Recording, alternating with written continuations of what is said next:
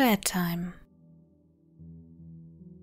Die Schlafenszeit ist normalerweise etwas Gutes für ein müdes Kind. Für mich war sie schrecklich. Während andere Kinder sich darüber beschweren, dass sie ins Bett müssen, bevor sie einen Film zu Ende gesehen oder ihr Lieblingsvideospiel fertig gespielt haben, war für mich, als ich noch ein Kind war, die Nacht immer eine Zeit voller Angst. Ich kenne mich in wissenschaftlichen Dingen aus und weiß, dass ich nicht beweisen kann, dass das, was mir passierte, echt war, aber ich kann sagen, es war der pure Horror. Ich bin froh, sagen zu können, dass ich solch eine Angst in meinem Leben bisher nie wieder spüren musste. Ich werde euch nun, so gut wie ich kann, alles erzählen. Macht euch daraus, was ihr wollt. Ich bin froh, dass ich mir alles von der Seele reden kann. Ich erinnere mich nicht mehr genau, wann es anfing, aber meine Angst vor dem Einschlafen begann etwa zu der Zeit, als ich von meinem Zimmer in ein anderes zog.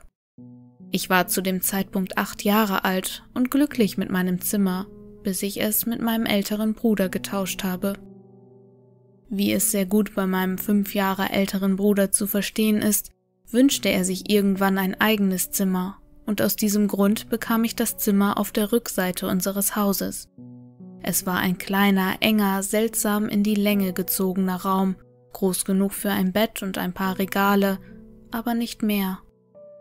Ich konnte mich nicht wirklich beschweren, denn selbst in diesem Alter verstand ich, dass wir kein wirklich großes Haus hatten, und ich hatte auch keinen Grund, um enttäuscht zu sein. Liebte und beschützte sich meine Familie doch sehr.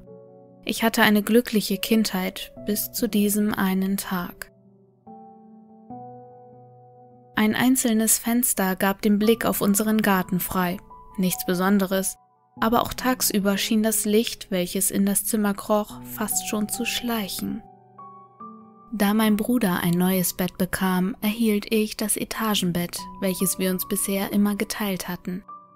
Während ich mich ärgerte, fortan alleine schlafen zu müssen, war ich gleichzeitig durch den Gedanken daran, im oberen Bett schlafen zu können, welches viel mehr Abenteuer zu bieten schien, gespannt und aufgeregt.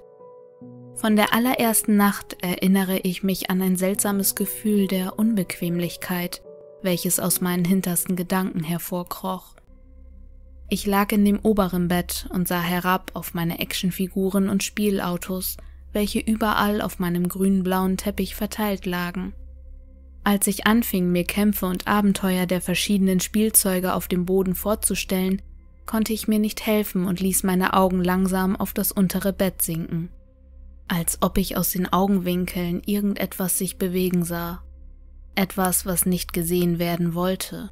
Das untere Bett war leer, ordentlich gemacht, eine dunkelblaue Decke säuberlich eingeschlagen, zwei weiche weiße Kissen am Kopfende. Ich dachte nicht weiter darüber nach. Ich war ein Kind und die Geräusche des Fernsehers, welcher unter meiner Tür hindurchdrangen, wogen mich in einem Gefühl von Sicherheit und Geborgenheit. Ich schlief ein. Wenn du durch ein Geräusch oder eine Bewegung im Raum aus einem tiefen Schlaf gerissen wirst, kann es einige Momente dauern, bevor du wirklich verstehst, was passiert. Der Nebel des Träumens hängt immer noch über dir, auch wenn dein Traum luzid war. Etwas bewegte sich, da gab es keinen Zweifel. Zuerst war ich nicht sicher, was es war. Alles war dunkel, fast schon tief schwarz. Doch ein wenig Licht kroch noch von draußen herein so dass ich mit knapper Not die Umrisse des erstickenden Zimmers ausmachen konnte. Zwei Gedanken schossen fast gleichzeitig in meinem Kopf. Der erste war, dass meine Eltern bereits im Bett lagen, denn das Haus lag in völliger Dunkelheit und Stille. Der zweite drehte sich um ein Geräusch. Das Geräusch, welches mich offensichtlich geweckt hatte. Als die letzten Reste des Schlafes aus meinem Kopf verschwanden, nahm das Geräusch eine vertrautere Form an. Manchmal können selbst die einfachsten Geräusche auch die nervigsten sein. Ein leichter Wind, der durch die Bäume fährt, die Schritte des Nachbarn, welche unangenehm nahe scheinen, oder, wie in diesem Falle, das leise Rascheln einer Bettdecke in der Dunkelheit. Genau das war es. Eine Bettdecke raschelte in der Dunkelheit, als ob ein in seinem Schlaf gestörter gerade versucht, es sich im unteren Bett wieder so gemütlich wie möglich zu machen. Ich lag da, ungläubig denkend, dass das Geräusch nur in meiner Vorstellung existierte oder vielleicht auch nur meine Katze versuchte, einen geeigneten Platz zu finden, wo sie die Nacht verbringen konnte. Es war die Tür, die ich als nächstes erkannte, geschlossen wie sie war, bevor ich eingeschlafen bin. Vielleicht hatte meine Mutter auch nach mir gesehen und währenddessen ist die Katze durch den Türspalt in mein Zimmer geschlichen. Ja, das musste es sein. Ich drehte mich zur Wand in der vagen Hoffnung, wieder einzuschlafen. Als ich mich bewegte, verstummte das rauschende Geräusch von unten. Ich dachte, dass ich meine Katze gestört hatte, doch schnell realisierte ich, dass das, was da unter mir lag, etwas weniger Alltägliches war als meine Katze, die zu schlafen versuchte, etwas viel Unheilvolleres. Als ob nun alarmiert und dazu gestört durch meine Anwesenheit, begann der in seinem Schlaf gestörte, sich hin und her zu rollen und heftig zu bewegen, wie ein Kind, das einen Wutanfall hat. Ich konnte hören, wie die Latten des Bettes mit zunehmender Stärke knackten und quietschten. Angst packte mich, nicht wie das seltsame Gefühl der Unbequemlichkeit, welches ich früher verspürte, sondern eher eine starke, schreckliche Angst. Mein Herz raste und meine Augen schauten panisch in der undurchdringlichen Dunkelheit umher. Ich schrie. Wie es die meisten Jungs in diesem Alter tun würden, schrie ich instinktiv nach meiner Mutter. Ich konnte auf der anderen Seite des Hauses zwar ein Knarren hören, doch als ich einen Seufzer der Erleichterung ausstieß, dass meine Eltern kommen und mich retten würden, begann das Etagenbett zu wackeln und an der Wand entlang zu kratzen, als wäre es von einem Erdbeben ergriffen. Unter mir hörte ich die Decke umherwirbeln, als würde sie mit purem Böswillen auf schreckliche Weise gequält werden. Ich wollte auch nicht herunterspringen, in Sicherheit, ich hatte zu große Angst, dass das Ding im unteren Bett nach mir packen und mich in die Dunkelheit ziehen würde. Also blieb ich, wo ich war und hielt krampfhaft meine eigene Decke vor mich wie ein Schutzschild. Das Warten fühlte sich an wie eine Ewigkeit. Endlich wurde die Tür aufgestoßen und ich lag in weißes Licht gehüllt da, doch das untere Bett, der Schlafplatz meines ungewollten Besuchers, lag leer und friedlich da. Ich weinte und meine Mutter tröstete mich. Tränen der Angst, gefolgt von Tränen der Erleichterung, flossen mein Gesicht herab. Durch den Schock und die Panik traute ich mich nicht, ihr zu erzählen, warum ich solche Angst hatte.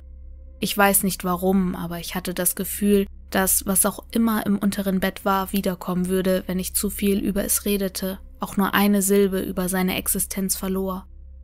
Ob das auch stimmte, weiß ich nicht, aber als Kind fühlte ich mich, als würde diese ungesehene Bedrohung ganz nah sein und alles hören, was ich gesagt hatte. Meine Mutter legte sich in das untere Bett und versprach, dort bis zum nächsten Morgen zu bleiben. Die Angst verschwand und so brachte mich die Müdigkeit wieder zum Schlafen. Aber ich erinnere mich genau, wie ich immer wieder durch das Geräusch einer sich bewegenden Decke wach wurde. Ich erinnere mich daran, dass ich am nächsten Tag irgendwo hin wollte, irgendwo sein, aber nicht in diesem engen, erstickenden Zimmer. Es war ein Samstag und ich spielte glücklich draußen mit meinen Freunden. Obwohl unser Haus nicht groß war, hatten wir das Glück, einen langen und breiten Garten zu haben. Wir spielten oft dort, der Großteil war überwuchert mit verschiedenen Pflanzen. So konnten wir uns in den Büschen verstecken, auf die riesige Platane klettern, die über allem thronte, und uns vorstellen, uns in großen Abenteuern in unerforschte exotische Wälder vorzudringen. So viel Spaß es auch gemacht hat, mein Blick wanderte immer wieder zu diesem kleinen Fenster, gewöhnlich unauffällig und harmlos. Aber für mich war es die schmale Grenze zu einer fremden, kalten Welt der Todesangst. Draußen in der schönen grünen Umgebung unseres Gartens, gefüllt mit den glücklichen Gesichtern meiner Freunde, konnte nichts das kriechende Gefühl der Angst auslöschen, welche sich einen Weg aus meinem Zimmer in meine Gedanken bahnte. Zum Schluss würde sich mir jedes Haar aufstellen, dieses Gefühl, dass etwas mich von meinem Zimmer aus beobachtet, mir beim Spielen zusieht und nur darauf wartet, dass die Nacht einbricht und es mit mir allein ist, es erfüllte mich mit Hass. Es mag für dich vielleicht komisch klingen, aber als meine Eltern mich am Abend ins Bett brachten, sagte ich nichts. Ich protestierte nicht, ich nannte keinen Grund, warum ich dort nicht schlafen konnte. Ich ging, zwar mürrisch, aber ohne Umwege in mein Zimmer kletterte die paar Sprossen der Leiter zum oberen Bett hinauf und wartete. Jetzt als Erwachsener würde ich jedem meine Erfahrungen berichten, aber in dem Alter fühlte ich mich schon fast dumm, über etwas zu reden, für dessen Existenz ich keinerlei Beweise hatte. Ich würde lügen. Ich hatte immer noch das Gefühl, dass wenn ich den wahren Grund nennen würde, dieses Ding sehr wütend sein würde, da ich zu viel über es redete. Es ist lustig, wie sehr sich manche Wörter in deinen Gedanken versteckt halten, egal wie offensichtlich sie doch sind. Eines dieser Wörter fiel mir in der zweiten Nacht wieder ein, als ich da lag, in der Dunkelheit, allein, ängstlich, mir einer miesen Veränderung in der Atmosphäre bewusst. Die Luft schien dicker zu werden, als ob etwas sich verschiebt. Als ich das erste gelegentliche Geraschel der Bettdecke unter mir hörte, ließ die Angst mein Herz schneller schlagen, und ich realisierte, dass dieses etwas von letzter Nacht wieder im unteren Bett war, und dieses Wort, welches aus meinen Gedanken verband, durch mein Bewusstsein gefiltert wurde, brach nach Luft schnappend und schreien aus der Verdrängung hervor und brannte sich in mein Gehirn. Geist. Als mir dieser Gedanke kam, merkte ich, dass mein ungebetener Besucher aufgehört hat, sich zu bewegen. Die Bettdecke lag ruhig und friedlich da, aber ihr Rascheln wurde durch etwas viel Abscheulicheres ersetzt. Ein langsames, rhythmisches, rasselndes Atmen, welches von dem Ding unter mir kam. Ich konnte mir vorstellen, wie seine Brust sich bei jedem schmutzigen, keuchenden, gurgelnden Atemzug hebt und senkt. Ich schauderte und hoffte, dass es ohne, dass irgendetwas geschah, wieder verschwinden würde. Das Haus war, wie auch in der vorherigen Nacht, in dicke Dunkelheit gehüllt. Stille herrschte, man hörte nichts außer das Atmen meines bisher noch ungesehenen Besuchers. Ich lag da und hatte schreckliche Angst. Ich wollte nur, dass dieses Ding verschwindet. Was wollte es? Dann ließ etwas Unverkennbares mir das Blut in den Adern gefrieren. Es bewegte sich, doch es bewegte sich anders als vorher. Als es sich in dem Bett umherwarf, schien es grundlos, hemmungslos, fast tierisch. Diese Bewegungen waren bewusst, mit einem Grund, einem gezielten Gedanken. Das Ding, was da in der Dunkelheit lag, dieses Ding, was anscheinend mit voller Absicht einen kleinen Jungen terrorisierte, setzte sich ruhig und langsam auf. Sein schweres Atmen war lauter als vorher, und es trennten nur noch eine Matratze und ein paar dünne Holzbretter meinen Körper von diesem Ding unter mir. Ich lag da, meine Augen mit Tränen gefüllt. Eine Angst, welche mit Worten nicht zu beschreiben ist, durchfuhr meinen Körper. Ich hätte niemals gedacht, dass diese Angst noch zu steigern wäre, aber ich lag so falsch. Ich stellte mir vor, wie es wohl aussieht, wie es da sitzt und hofft, auch nur das leiseste Geräusch von oben zu hören, auch nur den geringsten Hinweis zu bekommen, dass ich wach bin. Doch meine Vorstellung verwandelte sich schnell zur unausweichlichen Realität. Es begann damit, die Holzlatten, auf der meine Matratze lag, zu berühren. Es schien mit dem, was ich mir als seine Finger und Hände vorstellte, über die Oberfläche des Holzes zu streichen. Dann stieß es mit großer Kraft wütend zwischen zwei Latten in die Matratze. Auch durch das Polster fühlte es sich an, als würde mir jemand brutal seine Finger in die Seite rammen. Ich stieß einen mächtigen Schrei aus, und das keuchende, sich schüttelnde Ding im unteren Bett antwortete mit einem heftigen Rütteln des Bettes wie es es die Nacht zuvor auch getan hatte. Kleine Farbstücke rieselten von der Wand auf meine Decke, als der Rand des Bettes an der Wand entlang schabte. Ein weiteres Mal wurde ich in helles Licht gehüllt und da stand meine Mutter, liebevoll und sich um mich sorgend, wie sie immer war, bereit für eine tröstende Umarmung und beruhigende Worte, welche meine Hysterie etwas dämpfte. Natürlich fragte sie, was los war, aber ich konnte es ihr nicht sagen. Ich wagte es nicht, auch nur ein Wort darüber zu verlieren. Ich wiederholte stattdessen ein anderes Wort immer und immer wieder. Albtraum. Diese Reihe von Geschehnissen wiederholte sich so für Wochen, wenn nicht Monate. Nacht für Nacht würde ich durch das Rascheln der Bettdecke geweckt werden. Jedes Mal würde ich schreien, damit diese Abscheulichkeit keine Zeit findet, mich zu fühlen oder mich zu stoßen. Mit jedem Schrei würde das Bett anfangen zu beben und mit dem Eintreffen meiner Mutter stoppen, welche dann den Rest der Nacht im unteren Bett verbringt. unwissend, welches Wesen ihren Sohn jede Nacht quält und terrorisiert. Mit der Zeit schaffte ich es, Krankheiten vorzutäuschen und andere Gründe zu erfinden, um bei meinen Eltern zu schlafen, aber meistens würde ich für die ersten paar Stunden jeder Nacht allein in diesem Raum sein, in dem Raum, wo das Licht von draußen nicht richtig hereinscheint, allein mit diesem Ding. Nach und nach gewöhnst du dich an fast alles, vollkommen egal wie schrecklich es ist. Ich stellte fest, dass dieses Ding mir aus irgendeinem Grund nichts tun konnte, wenn meine Mutter da ist. Ich bin sicher, dasselbe würde auch für meinen Vater gelten, aber so liebevoll er auch war, ihn zu wecken war fast unmöglich. Nach ein paar Monaten hatte ich mich dann also an meinen nächtlichen Besucher gewöhnt. Versteh das jetzt nicht falsch, es war keine übernatürliche Freundschaft oder ähnliches. Ich verabscheute dieses Ding. Ich hatte genauso große Angst, als ich mir seine Persönlichkeit und seine Wünsche erschlossen hatte, wenn man es so nennen kann. Für mich war es ein mit perversem, verdrehten Hass erfülltes Ding. Vielleicht ist es das auch für alle. Meine größten Ängste erfüllten sich im Winter. Die Tage werden kürzer und die längeren Nächte verschaffen diesem Monster bloß mehr Möglichkeiten. Es war eine schwere Zeit für meine Familie meine Großmutter war eine wunderbare und höfliche Frau, doch ihr Zustand hat sich seit dem Tod meines Großvaters sehr stark verschlechtert.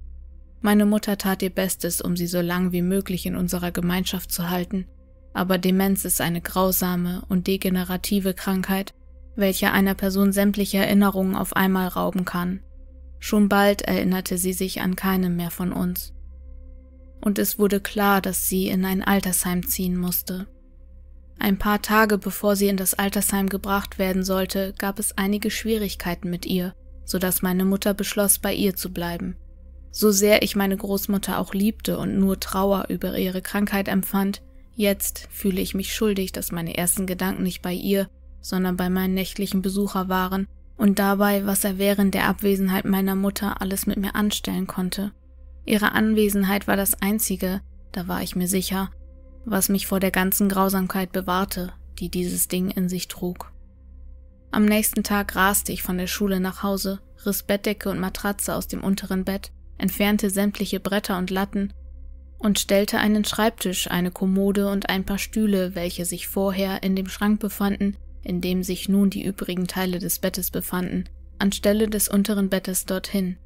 Mein Vater erzählte ich, dass ich ein Büro bauen würde, was er bezaubernd fand, aber ich würde verloren sein, wenn ich diesem Ding, welches jede Nacht bei mir war, noch eine Nacht einen Platz zum Schlafen liefern würde.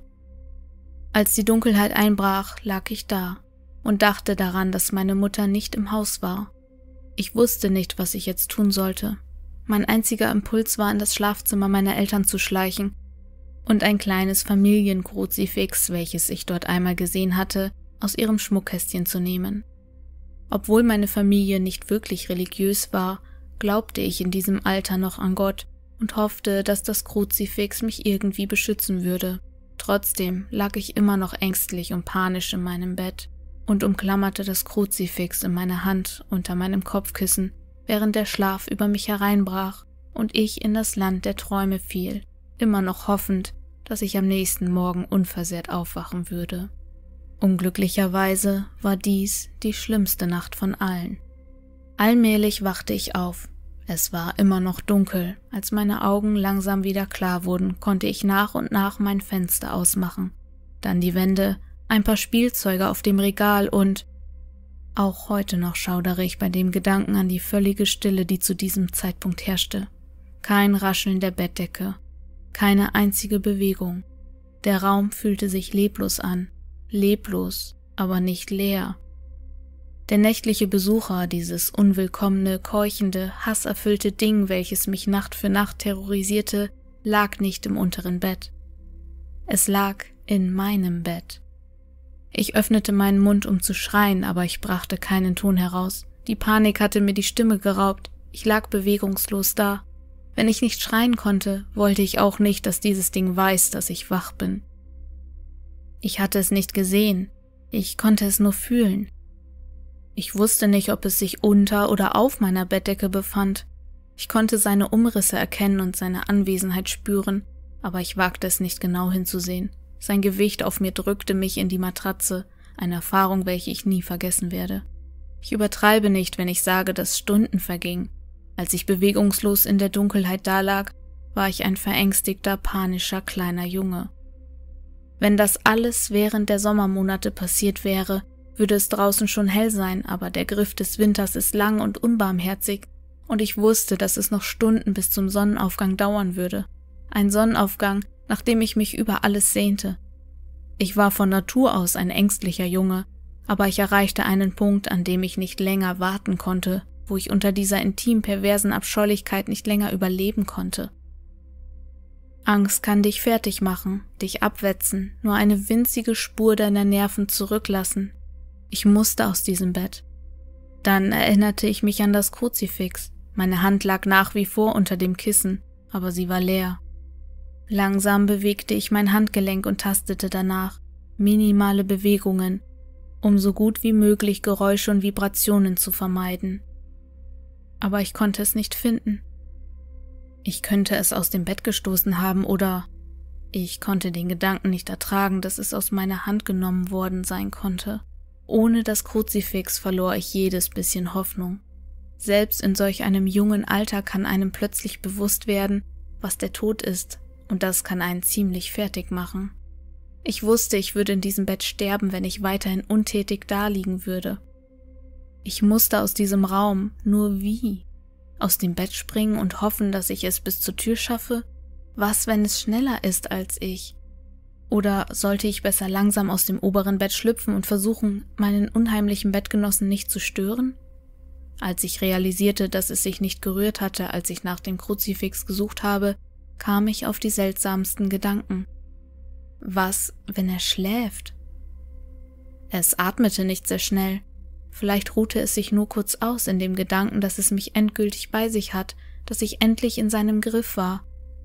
Oder vielleicht spielte es mit mir, so wie all die anderen Nächte zuvor und nun mit mir unter ihm an meine Matratze gepresst.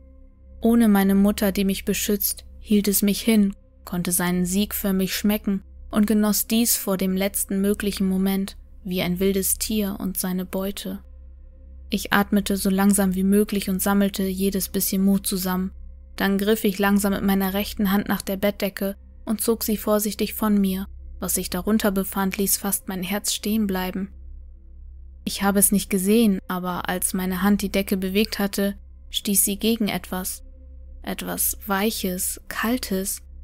Etwas, was sich unverwechselbar wie eine ausgemergelte Hand anfühlte.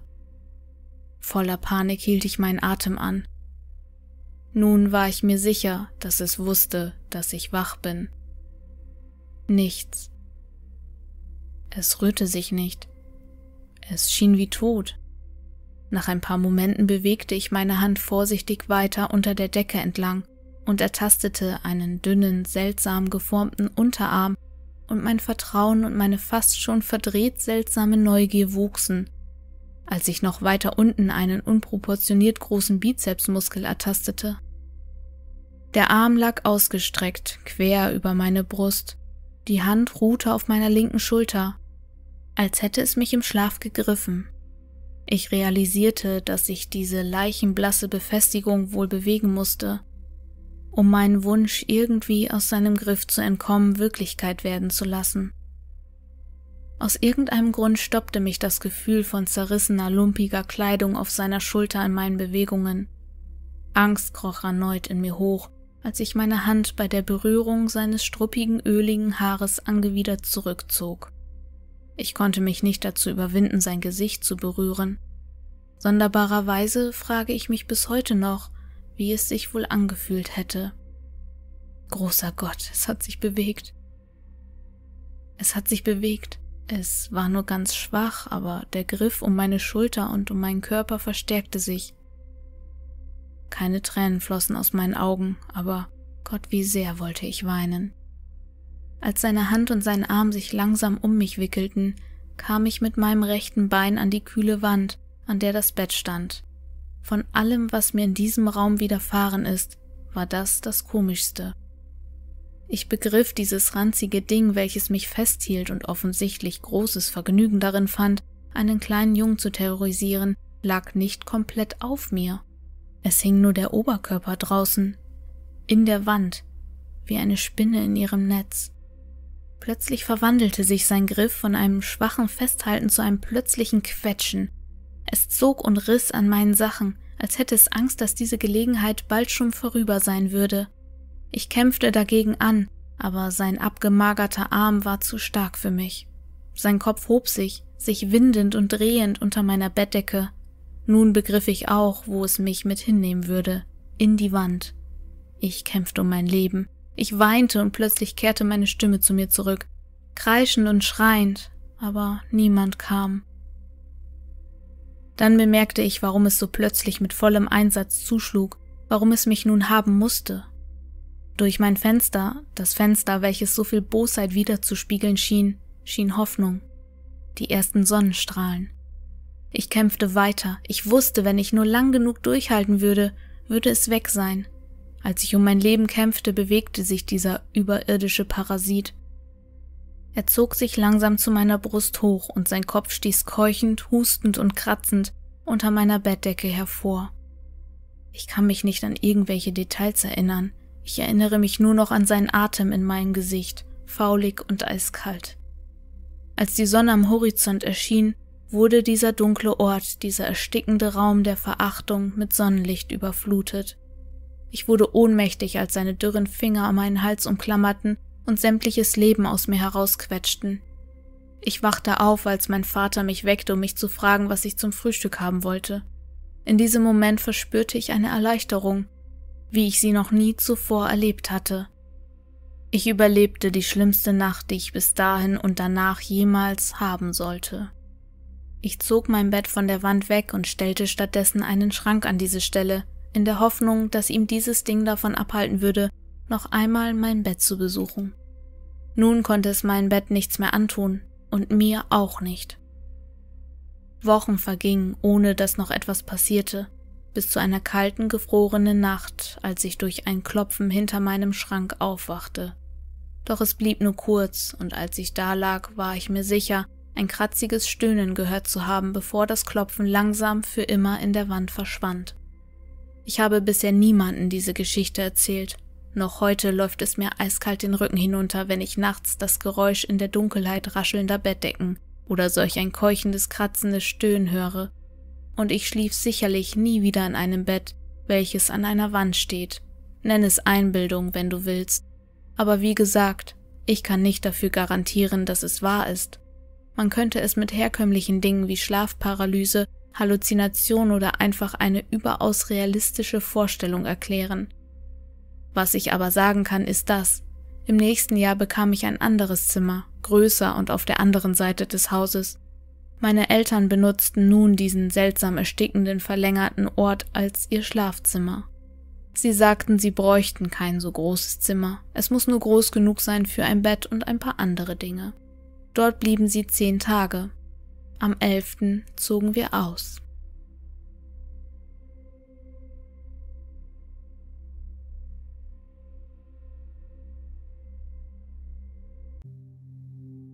Bedtime 2 Die Zeit danach Nachdem ich hier von diesem schrecklichen Ereignis, welches mir widerfuhr, erzählt habe, haben mich viele dazu ermutigt, über die Zeit danach zu reden.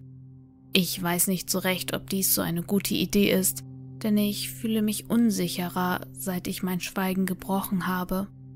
In den letzten Nächten habe ich nicht sonderlich gut geschlafen. Wie auch immer, ich lasse mich nicht unterkriegen. Ich werde euch nun erzählen, was in dem neuen Haus passiert ist. Dies wird nicht sonderlich lang sein, da es nur ein paar Tage dauerte, aber glaubt mir, diese paar Tage waren mehr als genug. Wenn du dich recht erinnerst, zog ich ein Jahr nach dem Verschwinden meines unwillkommenen Besuchers in ein anderes Zimmer. Dieses war um einiges größer als das vorherige und fühlte sich warm und angenehm an. Manche Orte fühlen sich nun mal nicht gut an. Mein vorheriges Zimmer fühlte sich schlecht an, aber dieses hier nicht. Glücklicherweise hatte ich hier ein neues Bett, ein gewöhnliches Einzelbett. Mein altes wurde auseinandergenommen und weggeschmissen. Was ich nicht gerade schlecht fand, möchte ich anmerken. Ich liebte mein neues Zimmer, ich genoss den vielen Platz für meine Spielsachen, ich war glücklich, dass dieser Raum groß genug war dass ich in ihm mit ein paar Freunden spielen konnte, aber am meisten war ich erleichtert, aus diesem seltsam böse erscheinenden Teil des Hauses raus zu sein. In der ersten Nacht schlief ich so tief wie seit langem nicht mehr, aber natürlich zog ich mein Bett ein ganzes Stück von der Wand weg. Meiner Mutter erzählte ich einfach, dass ich dies tun würde, damit meine Freunde und ich die so entstandene Lücke zwischen Bett und Wand zum Verstecken nutzen könnten. Am nächsten Tag wachte ich frisch und entspannt wieder auf. Als ich später noch in meinem Bett lag und ein paar meiner Lieblingscartoons auf einem kleinen, tragbaren Fernseher schaute, bemerkte ich etwas Seltsames. Ein alter, dunkelbrauner Schaukelstuhl türmte sich groß und bedrohlich am Fußende meines Bettes vor mir auf. Er war ausgefranst und abgenutzt. Mein Cousin hatte ihn uns mal als Teil einer Möbelgarnitur geschenkt, aber auch da schon sah man ihm sein Alter an. Der Schaukelstuhl an sich war auch nicht ungewöhnlich, er beunruhigte mich nur, weil ich mir sicher war, dass er am vorherigen Abend noch zur Wand gerichtet war. Nun, im Licht des Tages, stand er zu mir gerichtet. Ich nahm an, dass einer meiner Eltern ihn umgedreht hatte, als er nach etwas suchte, das sie dort vergessen hatten, bevor wir die Zimmer tauschten. Die zweite Nacht war nicht ganz so ruhig. Es war so etwa 23 Uhr und ich konnte den Fernseher von der anderen Seite des Hauses hören. Der Raum lag zum Großteil im Dunkeln, das einzige Licht schien schwach von den Straßenlaternen draußen durch mein Fenster herein. Ich war aber zufrieden, alles war in Ordnung, bis ich ein leises, unverwechselbares Geräusch hörte. Zuerst dachte ich, es wäre das Geräusch meines eigenen Atems, doch als ich dann für einen kurzen Moment die Luft anhielt, hörte ich das fast schon unhörbare Atmen eines anderen. Es fuhr fort, rhythmisch und pausenlos. Ich lag da in der Dunkelheit, und da ich mich noch von dem Terror, den mir dieses Ding im vorherigen Zimmer bereitet hatte, erholte, war ich vollkommen verängstigt. Das Atmen schien so weit weg und ähnelte so wenig dem Keuchen dieses anderen Wesens, dass ich ruhig blieb. Doch auch damals schon war dieses Geräusch so schwach, dass ich fast schon dachte, ich hätte es mir nur eingebildet. Trotzdem ging ich kein Risiko ein. Ich stieg aus dem Bett, ging durch den Raum und schaltete das Licht an. Das Geräusch war weg. Ich sah auf den alten abgenutzten Schaukelstuhl, der noch auf mein Bett gerichtet war, ging zu ihm und drehte ihn um. Ich hatte keinen wirklichen Grund, das zu tun, aber der Gedanke an etwas, was darin sitzt und mich im Schlaf beobachtet, bereitete mir eine Gänsehaut. In der dritten Nacht war ich nicht so furchtlos. Erneut wachte ich in der Dunkelheit auf. Ich starrte an die Decke, welche so schien, als würde sie das schwache Licht, welches hereinschimmerte, absorbieren. Der Baum vor meinem Fenster wog sich in einer schwachen Brise sanft hin und her und warf seltsame Schatten durch den Raum. Ich hörte nichts, bis auf das entfernte, permanente Summen des nächtlichen Verkehrs. Gerade als ich wieder langsam einschlief, hörte ich es, ein Knarren vom Fußende meines Bettes, als würde sich etwas bewegen oder sich mit seinem ganzen Gewicht auf dem Boden platzieren. Ich hob meinen Kopf und starrte in die Dunkelheit, doch ich sah nichts Ungewöhnliches. Alles war, wie es auch schon am Tage zuvor gewesen war, alles stand an seinem Platz. Ich ließ meinen Blick durch das Zimmer schweifen, mehrere Comics auf dem Fußboden, ein paar Kartons, welche immer noch nicht ausgepackt waren, der Schaukelstuhl, unbewegt, nach wie vor von mir, von meinem Bett abgewendet, da war nichts Unheimliches. Als ich dann da im Bett saß und noch überlegte, hörte ich es wieder. Ein leises Knarren, gefolgt von einem Geräusch. Das Geräusch sehr geringer Bewegungen. Ich sah wieder durch den Raum, die verschwommenen, orangenen Schatten von den Blättern des Baumes schienen nun eine bedrohliche Form anzunehmen. Ich sah immer noch keinen Grund, mir Sorgen zu machen. Ich sah wieder auf den Schaukelstuhl am Ende meines Bettes. Nach wie vor nichts Ungewöhnliches.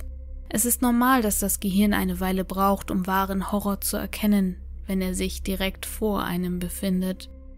Es braucht eine Weile, dies zu verarbeiten und verwandelt diese in einen Moment der eiskalten Erkennung. Ja, ich sah auf den alten abgenutzten Schaukelstuhl in der Dunkelheit. Aber ich sah auch auf die Person, die in ihm saß.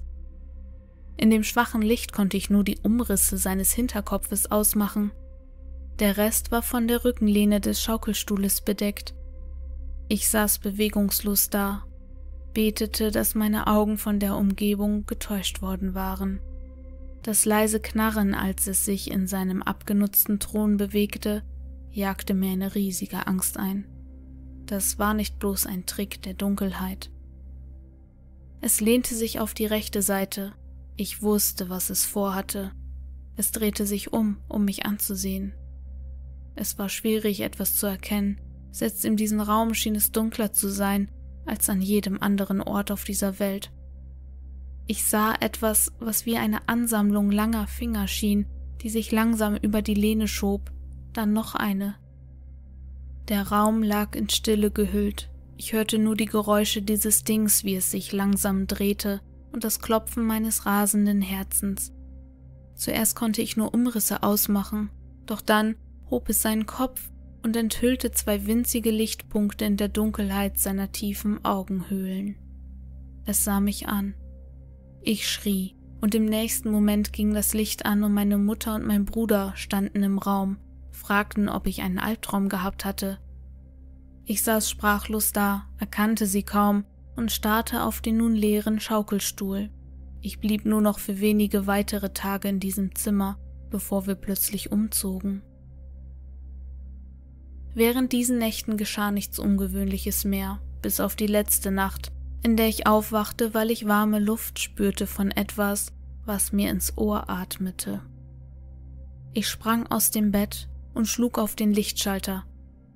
Das Geräusch des langsamen rhythmischen Atmens von etwas Ungesehenem blieb, lauter als zuvor. Den Rest der Nacht verbrachte ich auf dem Sofa im Wohnzimmer. Zwei Jahre später schlief ich friedlich in meinem Bett im neuen Haus. Es gab keine weiteren Ereignisse und ich war sicher, was auch immer mich in dieser kleinen durchschnittlichen Vorstadtwohnung geplagt hatte, auch dort blieb und für immer aus meinem Leben verschwunden war. Aber trotz allem blieb mir ein Abschiedsgeschenk. Meine Qualen, und meiner Meinung nach war dieses Ding aus dem Schaukelstuhl nicht dasselbe wie das aus der Wand, hielt noch eine Überraschung für mich bereit.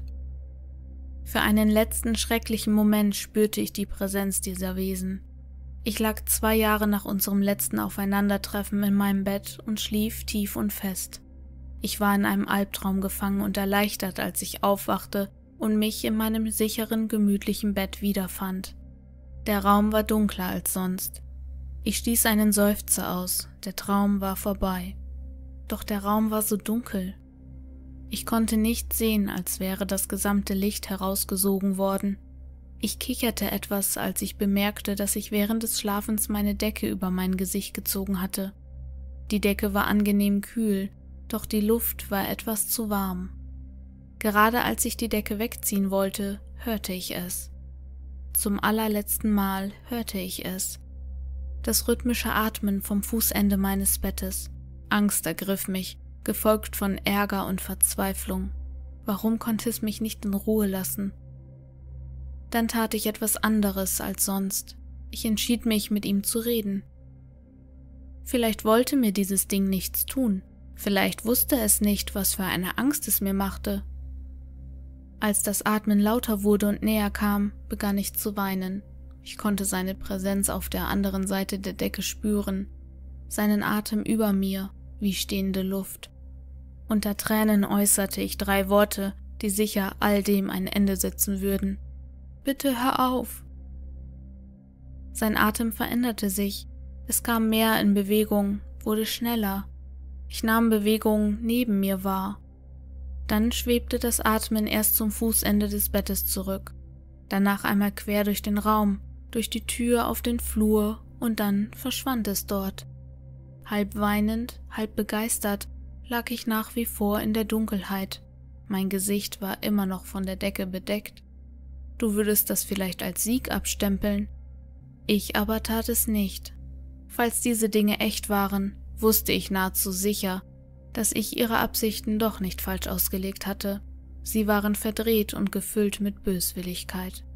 Normalerweise benutze ich dieses Wort nicht, um etwas zu beschreiben, aber dieses Ding ist so böse, wie ich hoffe, nie zu werden. Woher ich das weiß? Ich erzähle es dir. Wenige Momente nachdem dieses Ding schien, das Haus verlassen zu haben, drückte mir etwas mit großer Kraft die Decke gegen mein Gesicht.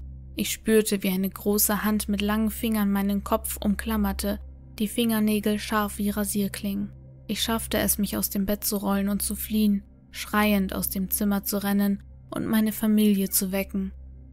Man kann es nicht leugnen, dieses Wesen versuchte mich zu ersticken, es wollte mich töten.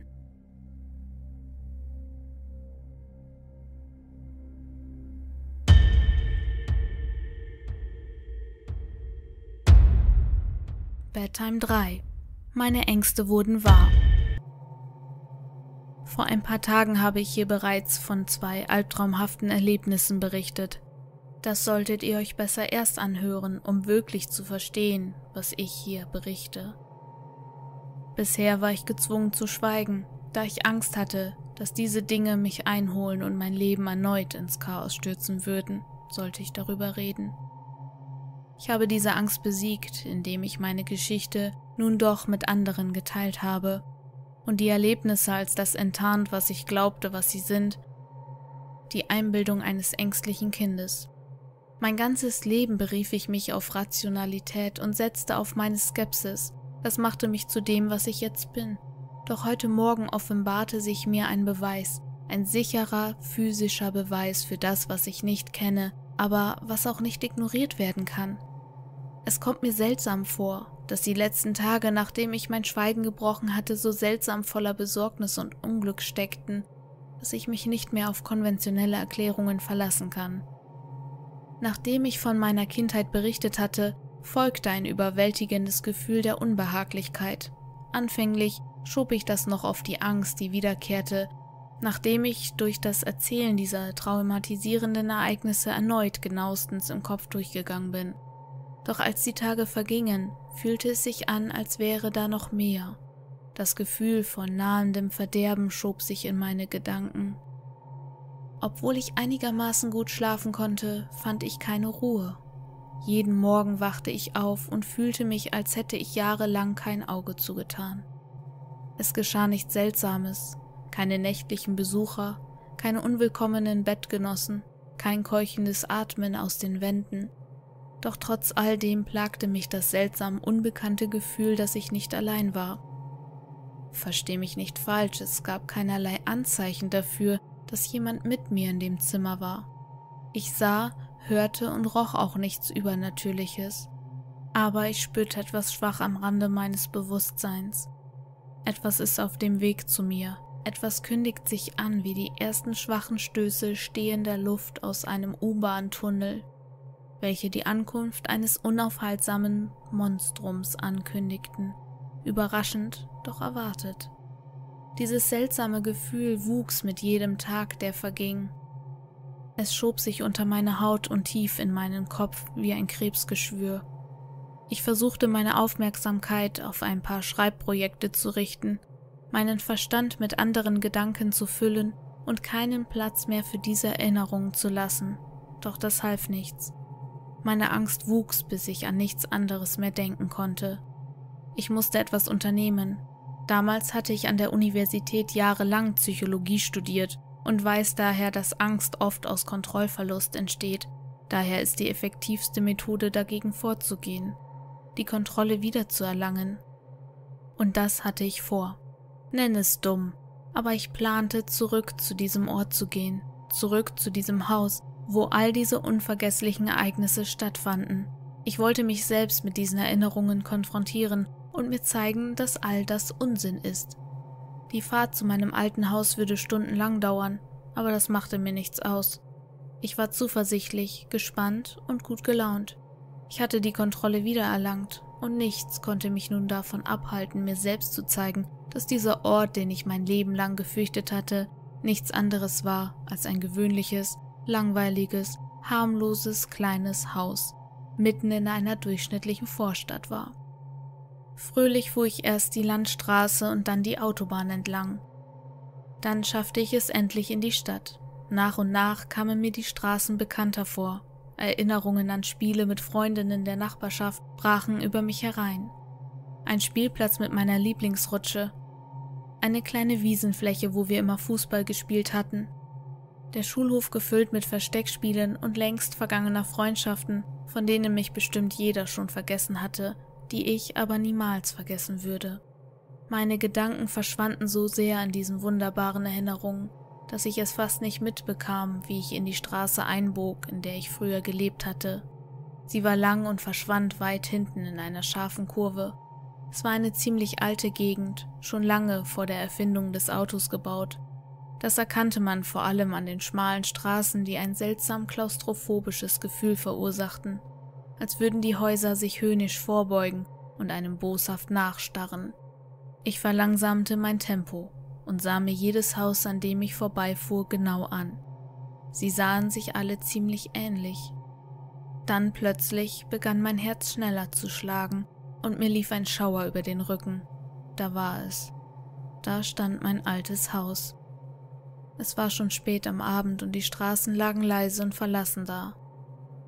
Ich sah es an und fragte mich, wie solch ein gewöhnliches Haus mir so viel Angst einjagen könnte. Anfänglich hatte ich geplant, es mir nur von außen anzusehen, um es für mich als einfaches Gebäude ohne unerklärliche Phänomene abzustempeln. Doch als ich parkte, atmete ich tief durch, und bevor ich es mitbekam, war ich schon aus dem Auto ausgestiegen, ging zu dem alten Metalltor, dessen helles Blumenmuster bereits vergraut ist und dessen grüne Farbe schon zum Großteil abgeblättert ist und nichts als Rost unter sich enthüllte. Ich strich mit meinen Fingern über dessen unebene Oberfläche, und es stieß mit einem leisen Keuchen vorsichtig auf. Als ich den kurzen Weg zum Haus entlang ging, fiel mir auf, wie vollkommen der Garten war. Ich dachte mir, was für eine Verschwendung das sei. Der ganze Rasen war voller Unkraut und hohe, seltsame Pflanzen. Doch als ich dem Haus näher kam, bemerkte ich, warum das so war. Das Gebäude stand leer. Wieder schauderte ich, und als meine Angst wuchs, redete ich mir einen Spruch ein. Die einfachste Erklärung ist meist die richtige. Ich nahm an, dass das Haus zum Verkauf stünde und der Besitzer einfach nichts auf den ersten Eindruck hält, doch als ich mich umschaute, konnte ich kein zu verkaufen Schild entdecken und auch sonst nichts, was auf so etwas hinweist. Das Haus schien wirklich so, als wäre es verlassen und vergessen worden und würde nun allmählich verrotten. Die Fenster waren zu verdreckt, um hindurchzusehen, also ging ich ums Haus herum und fand tatsächlich noch ein paar Fenster, durch die ich hindurchsehen konnte. Ich hätte eigentlich gedacht, dass so ein heruntergekommenes Haus komplett leer sein würde, doch ganz im Gegenteil. Es war gefüllt mit Gegenständen des modernen Alltags. Ich sah einen Fernseher in einer Ecke des Wohnzimmers stehen, einen Esstisch, auf dem ein Haufen alter Zeitschriften verteilt war, verschiedene Möbelstücke, die nur darauf warteten, wieder benutzt zu werden, und ein paar Kaffeebecher auf einer Fensterbank, noch halb voll und mit Schimmel überzogen. Ich hätte tatsächlich geglaubt, dass hier noch jemand wohnen würde, wäre nicht alles mit einer dicken Staubschicht und sogar ab und zu ein paar Spinnennetzen bedeckt. Es schien, als wären die ehemaligen Bewohner ganz plötzlich geflohen und nie zurückgekehrt. Ich kämpfte mich durch das hüfthohe Gras und erreichte letztendlich dieses harmlose kleine Fenster auf der Rückseite des Hauses. Allein der Anblick bereitete mir schon ein ziemlich ungutes Gefühl, doch das lag wohl eher an den Erinnerungen als an dem Gefühl, beobachtet zu werden, wie es früher immer der Fall war. Als ich hindurchsah, schien der Raum unheimlich unverändert. Es gibt zwar nicht viel, was man an so einem kleinen engen Raum verändern kann, doch durch das verdreckte Glas schien er genauso, wie er war, als ich dort gelebt hatte. Ein Bett, ein paar Regale und scheinbar auch ein paar Spielsachen auf dem Boden. Sofort packte mich Wut, doch ich schüttelte sie schnell wieder ab. Dieses Zimmer war eindeutig das eines Kindes, und der Gedanke daran, dass dieses Wesen ein anderes unschuldiges Kind gequält hatte, füllte mich mit Verachtung und in mir wuchs das Gefühl, jedes Kind auf dieser Welt vor dieser Abscheulichkeit zu beschützen. Als ich auf die Wand sah, an der das Bett stand, wurde ich fast ohnmächtig. Für einen Moment, einen wirklich winzigen Moment, dachte ich, die Bettdecke hätte sich bewegt. Mehr als das, ich könnte schwören, ich hörte durch das Glas hindurch ein keuchendes Atmen. Ich schloss meine Augen und redete mir ein, dass das nur Einbildung gewesen sei. Als ich meine Augen wieder öffnete, sah ich nichts außer einem leeren Schlafzimmer. Keine bösen Geister, nichts Übernatürliches, nur ein Raum, nicht mehr und nicht weniger.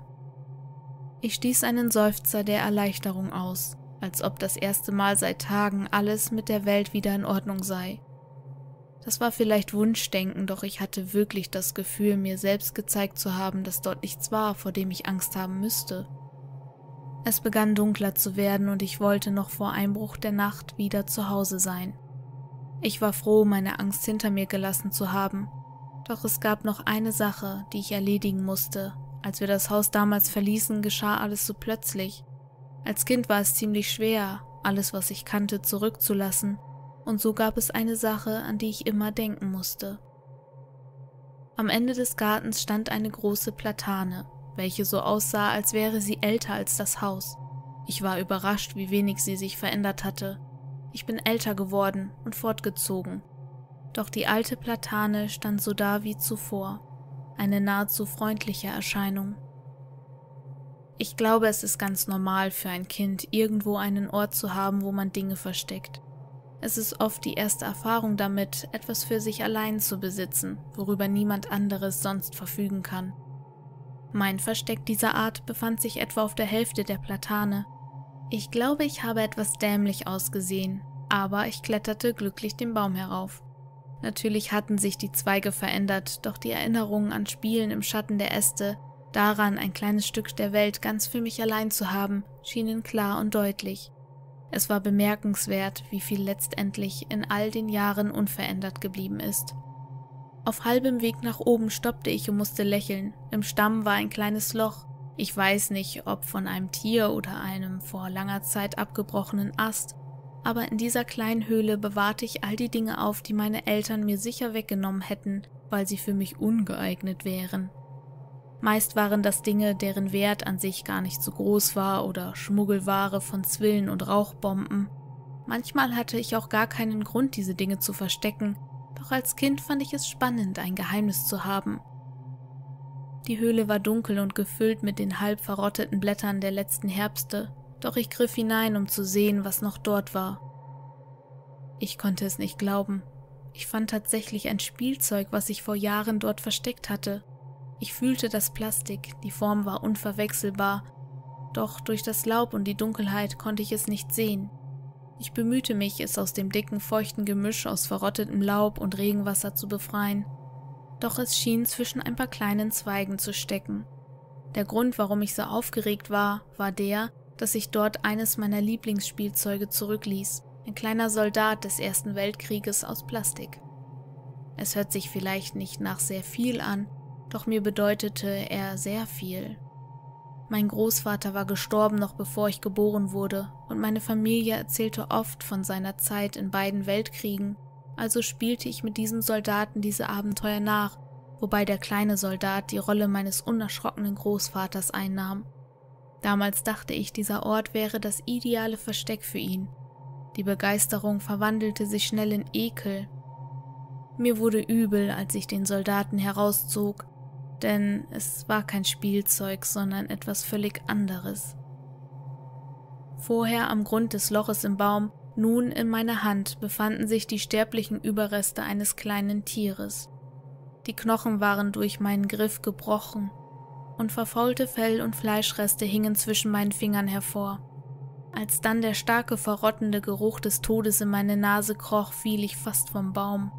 Vorsichtig kletterte ich wieder herunter Sonst war da nichts in dem Baum. Mein Spielzeug war weg. Wahrscheinlich hatte es in all den Jahren doch ein anderes Kind gefunden und mitgenommen. Das, was noch von dem armen Tier übrig blieb, vergrub ich unter etwas lockerer Erde am Fuß des Baumes. Sofort verließ ich diesen Ort wieder. Trotz dieses unglücklichen Fundes fühlte ich mich ziemlich gut. Ich hatte wirklich den Mut aufgebracht, dieses Haus noch einmal zu besuchen und zu sehen, wie gewöhnlich es doch war, gab mir das Gefühl, wieder Herr meiner Sinne zu sein. Ich wollte nicht mehr als eine natürliche Erklärung. Ich verabschiedete mich von dieser Gegend, ließ diese Erinnerungen ein für allemal hinter mir und fuhr nach Hause. Als ich auf die Autobahn einbog, sickerte langsam etwas aus meinem Unterbewusstsein. Erst ignorierte ich es, dachte, ich bilde mir das nur ein, doch als auch die letzten Sonnenstrahlen hinterm Horizont verschwanden, spürte ich in mir einen unaufhaltsamen Drang wachsen. Ich spürte, dass ich diesem Drang unter allen Umständen folgen musste, da mir sonst etwas Schreckliches passieren würde. Ich will nach Hause. Ich beschleunigte und überholte die anderen Autos, dabei sah ich immer wieder in den Rückspiegel, ob ich verfolgt wurde. Ich muss nach Hause. Ich beschleunigte noch mehr, schaute nur noch in den Rückspiegel, als würde ich vor etwas Unsichtbarem flüchten. 70, 80, 100 Meilen pro Stunde. Ich raste über den Asphalt, hupte, schrie, während der Schweiß an mir herablief. Was geschah hier? Bitte, lass mich nach Hause. Ich umklammerte das Lenkrad mit meiner ganzen Kraft, als ich auf die Landstraße einbog, die direkt zu meiner Stadt führte. Die Straßen waren alt und rissig, alles war verlassen und lag in unheilverkündender Dunkelheit. Ich stellte meine Scheinwerfer auf Fernlicht und atmete erleichtert auf, als ich in der Ferne ein anderes Licht sah. Diese Angst, die mich auf der Autobahn ergriff, schien weniger zu werden. Trotzdem sah ich noch zu oft in den Rückspiegel, um sicherzugehen, dass mir niemand folgte. Ein seltsamer Gedanke. Zu denken, dass mich irgendetwas verfolgt und dafür andere in Gefahr bringen? Verrückt. Trotzdem, verrückt oder nicht, ich hatte den Drang, so schnell wie möglich dort zu verschwinden, und trotz, dass ich es geschafft habe, meine Gedanken wieder zu kontrollieren, sehnte ich mich durch die verlassenen Straßen, auf der ich mich befand, nach meiner eigenen Straße, meinem Haus, meinem Bett. Nervös durchquerte ich die kurvigen Straßen, die sich durch die Landschaft zogen. Als ich eine Straßenlaterne als erstes Anzeichen auf die Stadt erblickte, fühlte ich eine Erleichterung, wie ich sie nur selten zuvor gespürt hatte. Ich parkte vor meinem Haus, drehte den Motor ab und saß für einen Moment in der Stille da. Dieser Quatsch musste aufhören. Wesen, die aus der Wand kommen, die mich nachts beobachten, all das war Wahnsinn. Morgen würde ich wieder ganz von vorn anfangen, nicht mehr von irgendwelchen Kindheitserinnerungen schreiben, keine angsterfüllten Nächte mehr durchleben. Alles würde wieder normal werden. Ich gehe zur Arbeit, verbringe Zeit mit meiner Freundin und vor allem meinen Glauben an Wissenschaft und Rationalität wiederherstellen. Dann beugte sich das Ding vom Rücksitz zu mir vor packte an meine Schulter und blies mir von hinten seinen fauligen, ranzigen Atem aus den tiefsten Tiefen seiner Lunge in den Nacken. Ich warf mich gegen die Tür, meine Arme fuchtelten auf der Suche nach dem Griff wild umher. Panik ergriff mich, eine Panik, die ich nur zu gut von damals kannte, als ich vor all den Jahren in diesem ekligen Raum wach im Bett lag. Die Luft in dem Auto war kühler geworden, doch das war nichts im Gegensatz zu den eiskalten Fingern, die sich in meine Schulter bohrten. Ich dachte wirklich, ich würde sterben, dass dieses Ding endlich seinen Willen bekommen würde. Endlich kam mir der Türgriff in die Finger. Ich riss sie auf und fiel vom Fahrersitz auf den Boden. Für einen kurzen Moment dachte ich, etwas im Rücksitz gesehen zu haben, ein Wesen, das einen dünnen alten Mann ähnelte. Auf seinem Gesicht ein verdrehtes, verzerrtes Grinsen, das wortwörtlich von einem Ohr zum anderen reichte. Zum Glück war sonst niemand da. Ich muss wie ein totaler Irrer ausgesehen haben, denn das Auto war leer. So schnell es ging, schnappte ich mir die Schlüssel aus der Zündung und trat die Tür zu, um sie für die Nacht abzuschließen. Schwankend ging ich den Weg entlang und trat in mein Haus. Ich bin ehrlich, ich hatte mich an diesem Abend in den Schlaf getrunken. Vielleicht erinnerst du dich daran, dass ich Beweise habe, wirkliche physische Beweise für etwas Übernatürliches. Bestimmt fragst du dich jetzt, was dieser Beweis ist. Nun, ich könnte sagen, dass dieser Beweis die Wunde in meiner Schulter ist, die mich immer wieder zum Schaudern bringt. Oder das aufgebrochene Schlafzimmerfenster, welches ich heute Morgen entdeckte, dessen Bruchspuren eindeutig von Klauen stammen oder sonst was. Aber nein, nichts von all dem erschreckt mich so sehr wie dieses eine, was ich sofort bemerkte, nachdem ich aufwachte. Die simpelsten Botschaften sind meistens die schrecklichsten. Als ich aufwachte, lag auf meiner Brust der Soldat, den ich als Kind versteckt hatte, in zwei Hälften durchgebissen.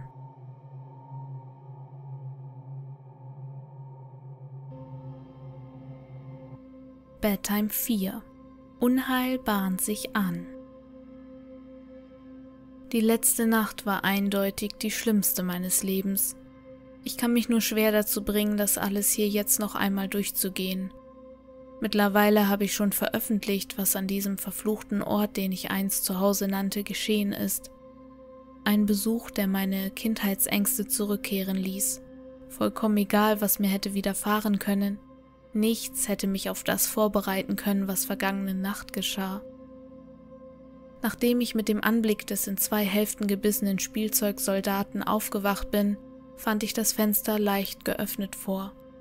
Nach kurzer Untersuchung war ich mir sicher, dass es von außen aufgebrochen wurde. Die Schlösser waren verbogen, als ob sie sich in einer uneingeschränkten, ungebundenen, rohen Macht unterworfen hätten. Von außen konnte ich drei Einkerbungen erkennen, wo der unwillkommene Hausbesucher scheinbar eine Art Werkzeug benutzt hatte, um das Fenster aus dem Schloss zu hebeln. Seltsam war allerdings, dass diese Kratzer sich über den ganzen Rahmen des Fensters zogen, wobei eine Brechstange oder ähnliche Geräte nur eine Delle dort hinterlassen hätten, wo sie benutzt würden. Nichts war gestohlen und ich begann die Spuren als von Menschenhand geschaffen anzusehen und nicht mehr als durch Klauen verursacht, wie ich es vorher tat. Ich konnte mir bloß nicht anders erklären, wie der Spielzeugsoldat zu mir zurückgekehrt ist Schon bei dem kleinsten Gedanken daran sank mein Herz. Ich weiß, dass er eine Nachricht darstellen sollte, doch mir schien der eher wie ein makabrer Scherz, der mehr die Rückkehr meiner Kindheit ankündigt als etwas, wo ich die verrücktesten Dinge hineininterpretierte. Ich verbrachte den Morgen damit, in jedem Raum nachzusehen, ob etwas gestohlen wurde. Nichts fehlte. Ich konnte nur hoffen, dass dieses Ding auf dem Rücksitz die Nacht zuvor mich nur ein allerletztes Mal erschrecken wollte und sich nun endgültig auf und davon gemacht hatte. Vielleicht war es so weit von diesem Zimmer entfernt schwächer.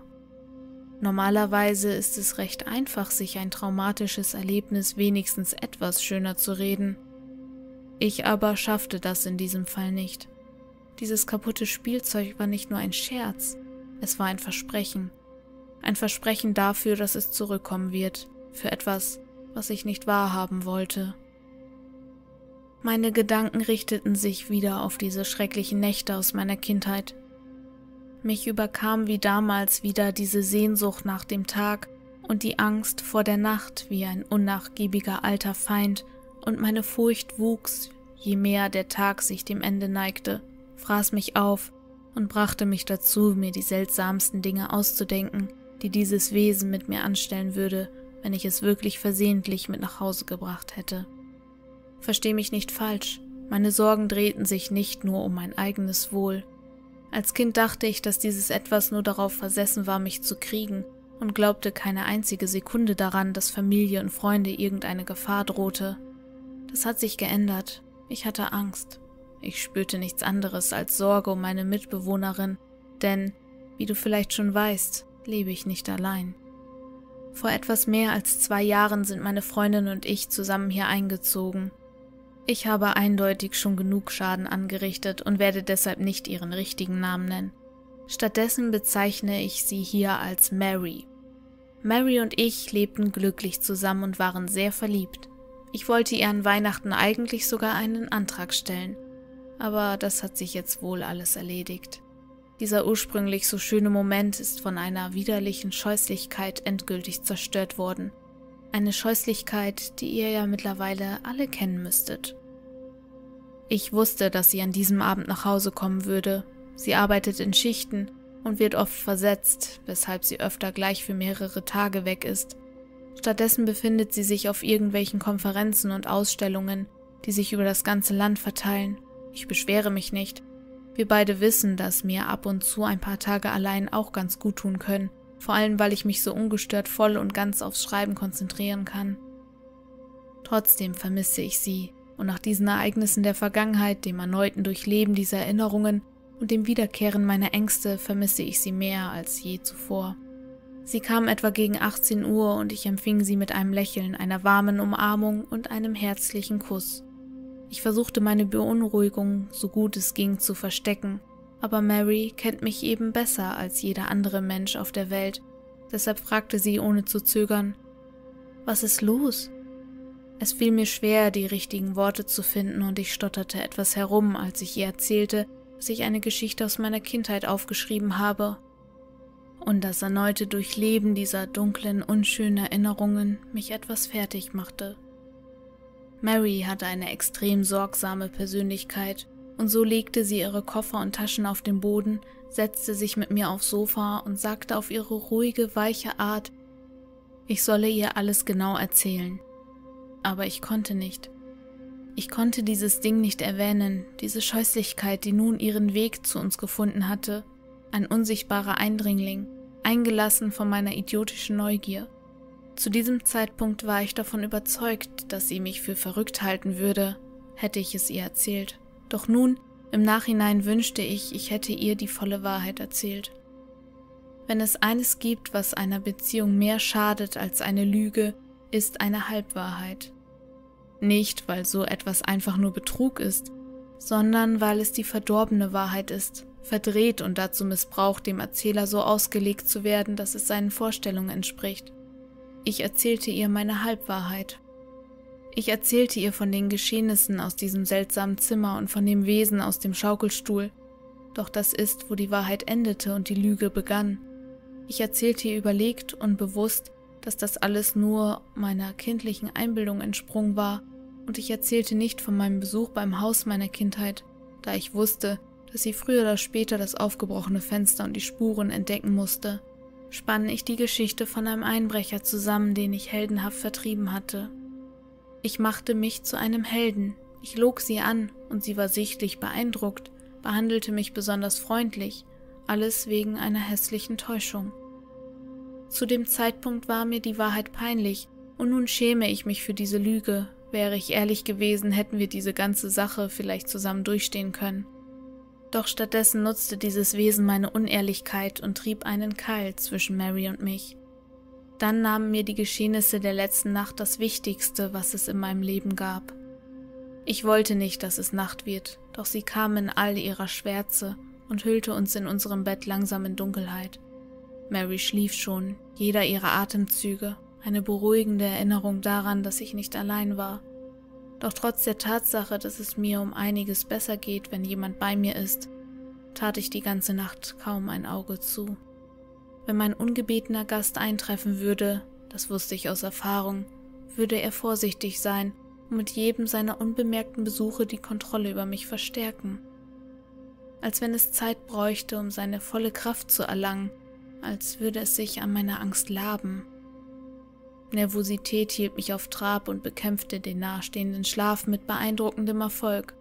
Am Ende gewann dann aber doch die Müdigkeit, und während mein Wecker so auf vier Uhr morgens zuschwankte, ergriff mich der Schlaf. Die entspannende dunkle Decke der Vergessenheit wusch meine Angst fort und meine Sorgen waren nur noch eine ferne Erinnerung. Mit einem leisen Seufzer sank ich noch tiefer in die Matratze und schlief endlich ein. Egal wie tief der Schlaf auch ist, nur selten kann er auch nicht gestört werden. Während ich gerade an der Schwelle zu einem Traum schwebte, begann mich etwas zu stören. Langsam schob es sich in meinen Kopf. Ich öffnete meine Augen und wartete darauf, dass sie wieder klar werden. Mary lag ruhig neben mir, ich beruhigte mich etwas, indem ich ihrem Atmen zuhörte. Einatmen, gefolgt von Ausatmen, wieder und wieder, rhythmisch, beständig. Ich begann wieder einzuschlafen. Aber nein, da war etwas anderes, klar und doch undefinierbar. Es schien leise und entfernt, fast als wäre es von etwas bedeckt, als käme es hinter irgendetwas hervor, ich versuchte genau hinzuhören, doch es war zu leise. Ich blieb noch ein paar Minuten liegen, doch mit jeder Sekunde schmerzte dieser unhörbare Ton in meinen Ohren wie eine Glasscherbe auf einem offenen Nerv. Der Schlaf hatte mich nun endgültig verlassen. Frustriert entschied ich mich dazu, den Ursprung dieses Geräusches zu suchen. Ich setzte mich auf und hörte genau hin. Dieses Geräusch war anders als alle anderen, die ich je zuvor gehört hatte so leise, doch als mein Verstand sich endlich voll auf dieses Geräusch richtete, glaubte ich zu wissen, was ich hörte. Es war wirklich von etwas bedeckt, aber für mich klang es wie ein sich wiederholendes Gemurmel. Ich glaube, ich habe etwas Ähnliches doch schon einmal gehört, als ich meine Großmutter im Altersheim besuchte. Ein Ort, welcher von seinen verwirrt durch die Hallen laufenden gebrochenen Bewohnern, welche sich windend und immer wieder sich selbst von den vergangenen Tagen erzählen oder einfach nur zusammenhanglose Worte redend durch die Gegend schleichten, einen tiefen Eindruck bei mir hinterlassen hat. Daran erinnerte es mich, ein kontinuierlicher Strom nicht entzifferbarer Worte, gesprochen von jemandem in ewiger Verwirrung. Ich schaute zu Mary. Ihre Brust hob und senkte sich bei jedem Atemzug. Ohne sie zu stören, stand ich auf und bemerkte sofort, dass das Gemurmel lauter geworden war. Unter der Tür kroch etwas Licht hervor, denn ich hatte das Licht im Flur angelassen, das tue ich immer. Durch dieses Licht konnte ich das Zimmer schwach, aber sicher erkennen. Ich schaute mich um, um zu sehen, ob irgendetwas anders war, doch der Raum lag da wie zuvor. Meine Gedanken wanderten wieder zu dem zweiten Zimmer, wo ich als Kind auch Geräusche von etwas hörte. Eine zwar erst ungesehene, aber durchgehend präsente Bedrohung. Als ich einen Schritt nach vorne ging, wurde das Gemurmel wieder ein Stück lauter. Ich konnte zwar immer noch nicht verstehen, was gesagt wurde, aber ich erkannte die Art der Stimme. Sie klang alt, über die Jahre trocken geworden, mit einem rauen, kehligen Unterton. Die Worte wiederholten sich mit einer unglaublichen Geschwindigkeit und schienen ängstlich und von einer seltsamen Barriere gedämpft. Ich hatte Angst, aber die Tatsache, dass Mary im selben Zimmer war, gab mir Mut. Mit einem tiefen Atemzug voller Beklommenheit nahm ich einen weiteren Schritt nach vorne und spürte den kalten Boden unter meinen Füßen. Wieder wurde die Stimme lauter. Es kann auch nur Einbildung gewesen sein, aber ich könnte schwören, dass die Stimme aufgeregter klang, als ich näher kam. Als ich den nächsten Schritt machte und die Lautstärke des Gemurmels wieder anstieg, bekam ich einen riesigen Schrecken. Zwischen dem unverständlichen Gebrabbel konnte ich ein Wort heraushören, ein Wort, welches förmlich einen Eiszapfen in meine Knochen schlug, ein Wort, welches mir Angst bereitete. Es sprach meinen Namen, es kannte meinen Namen, ich weiß nicht warum, aber an dieser Stelle wusste ich, dass es eine unbegrenzte Reichweite hat. Ich wusste, dass ich es wohl nie loswerde. Ich wusste, es konnte mich jeden Moment einfach umbringen. Plötzlich bemerkte ich etwas aus dem Augenwinkel, eine Bewegung, gefolgt von dem Rascheln von Stoff. Nun wusste ich, wo diese seltsame, aufgeregte Stimme herkam und warum sie so dumpf klang. Ich sah es, ein paar Schritte vor mir. Da stand es, hinter den geschlossenen Vorhängen. Der helle Mond drang nicht ganz durch den dicken Stoff hindurch, reichte aber gerade aus, dass ich schwach die Umrisse des Wesens erkennen konnte, das mich durch die Vorhänge durch beobachtete. Ich kann nicht beschreiben, wie komisch ich mich dann fühlte. Meine Angst stieg wieder an, doch ein seltsamer Zwang, eine ziemlich unpassende Absicht überkam mich. Ich musste sehen, was es ist. Ich machte noch einen vorsichtigen Schritt auf die Vorhänge zu. Sie schwangen leicht hin und her, als ob sie von einem leichten Windhauch erfasst wurden, doch ich konnte nicht sagen, ob dieser von mir oder dem Ding hinter dem Schleier aus Stoff verursacht wurde. Ich war nun nah genug, um sein mühsames Atmen zu hören, wie die Luft sich mit jedem Atemzug lautstark an der schleimigen Flüssigkeit in seinem Hals vorbeischiebt. Das war es. Ich würde mich diesem Monster gegenüberstellen, diese lebendig gewordene Kindesangst. Während ich langsam meine rechte Hand hob, berührte ich versehentlich den Stoff, wodurch ein leichtes Wanken des Vorhanges diesen für einen winzigen Augenblick teilte. Ich stöhnte erschrocken auf. Auch wenn es wirklich nur für einen kurzen Moment war, offenbarte der Spalt zu lange, was dahinter stand. Ich kann kaum beschreiben, wie es aussah. Auch jetzt noch schließe ich meine Augen und wünschte, ich könnte es einfach aus meiner Erinnerung löschen. Es wackelte und zitterte, während es weitersprach und immer wieder dieselben unverständlichen Worte wiederholte wobei es klang, als würde es eine bizarre Mischung aus unzähligen Sprachen sprechen. Seine schlaffe Haut zog sich über spröde hervorstehende Knochen, Wirbelsäule, Rippen und innere Organe stachen unter seiner hauchdünnen, blassen, matten, violetten, fast blauen Hülle hervor. So unterernährt es auch schien. Sein Magen war voll und an seinem Platz, und die knochige Erscheinung trug nicht gerade dazu bei, das Gefühl zu vermindern, dass es fähig war, seinen Opfern viel brutales, perverses Leid zuzufügen. Übelkeit stieg in mir hoch, als ein verdorbener, widerlicher Gestank die Luft erfüllte.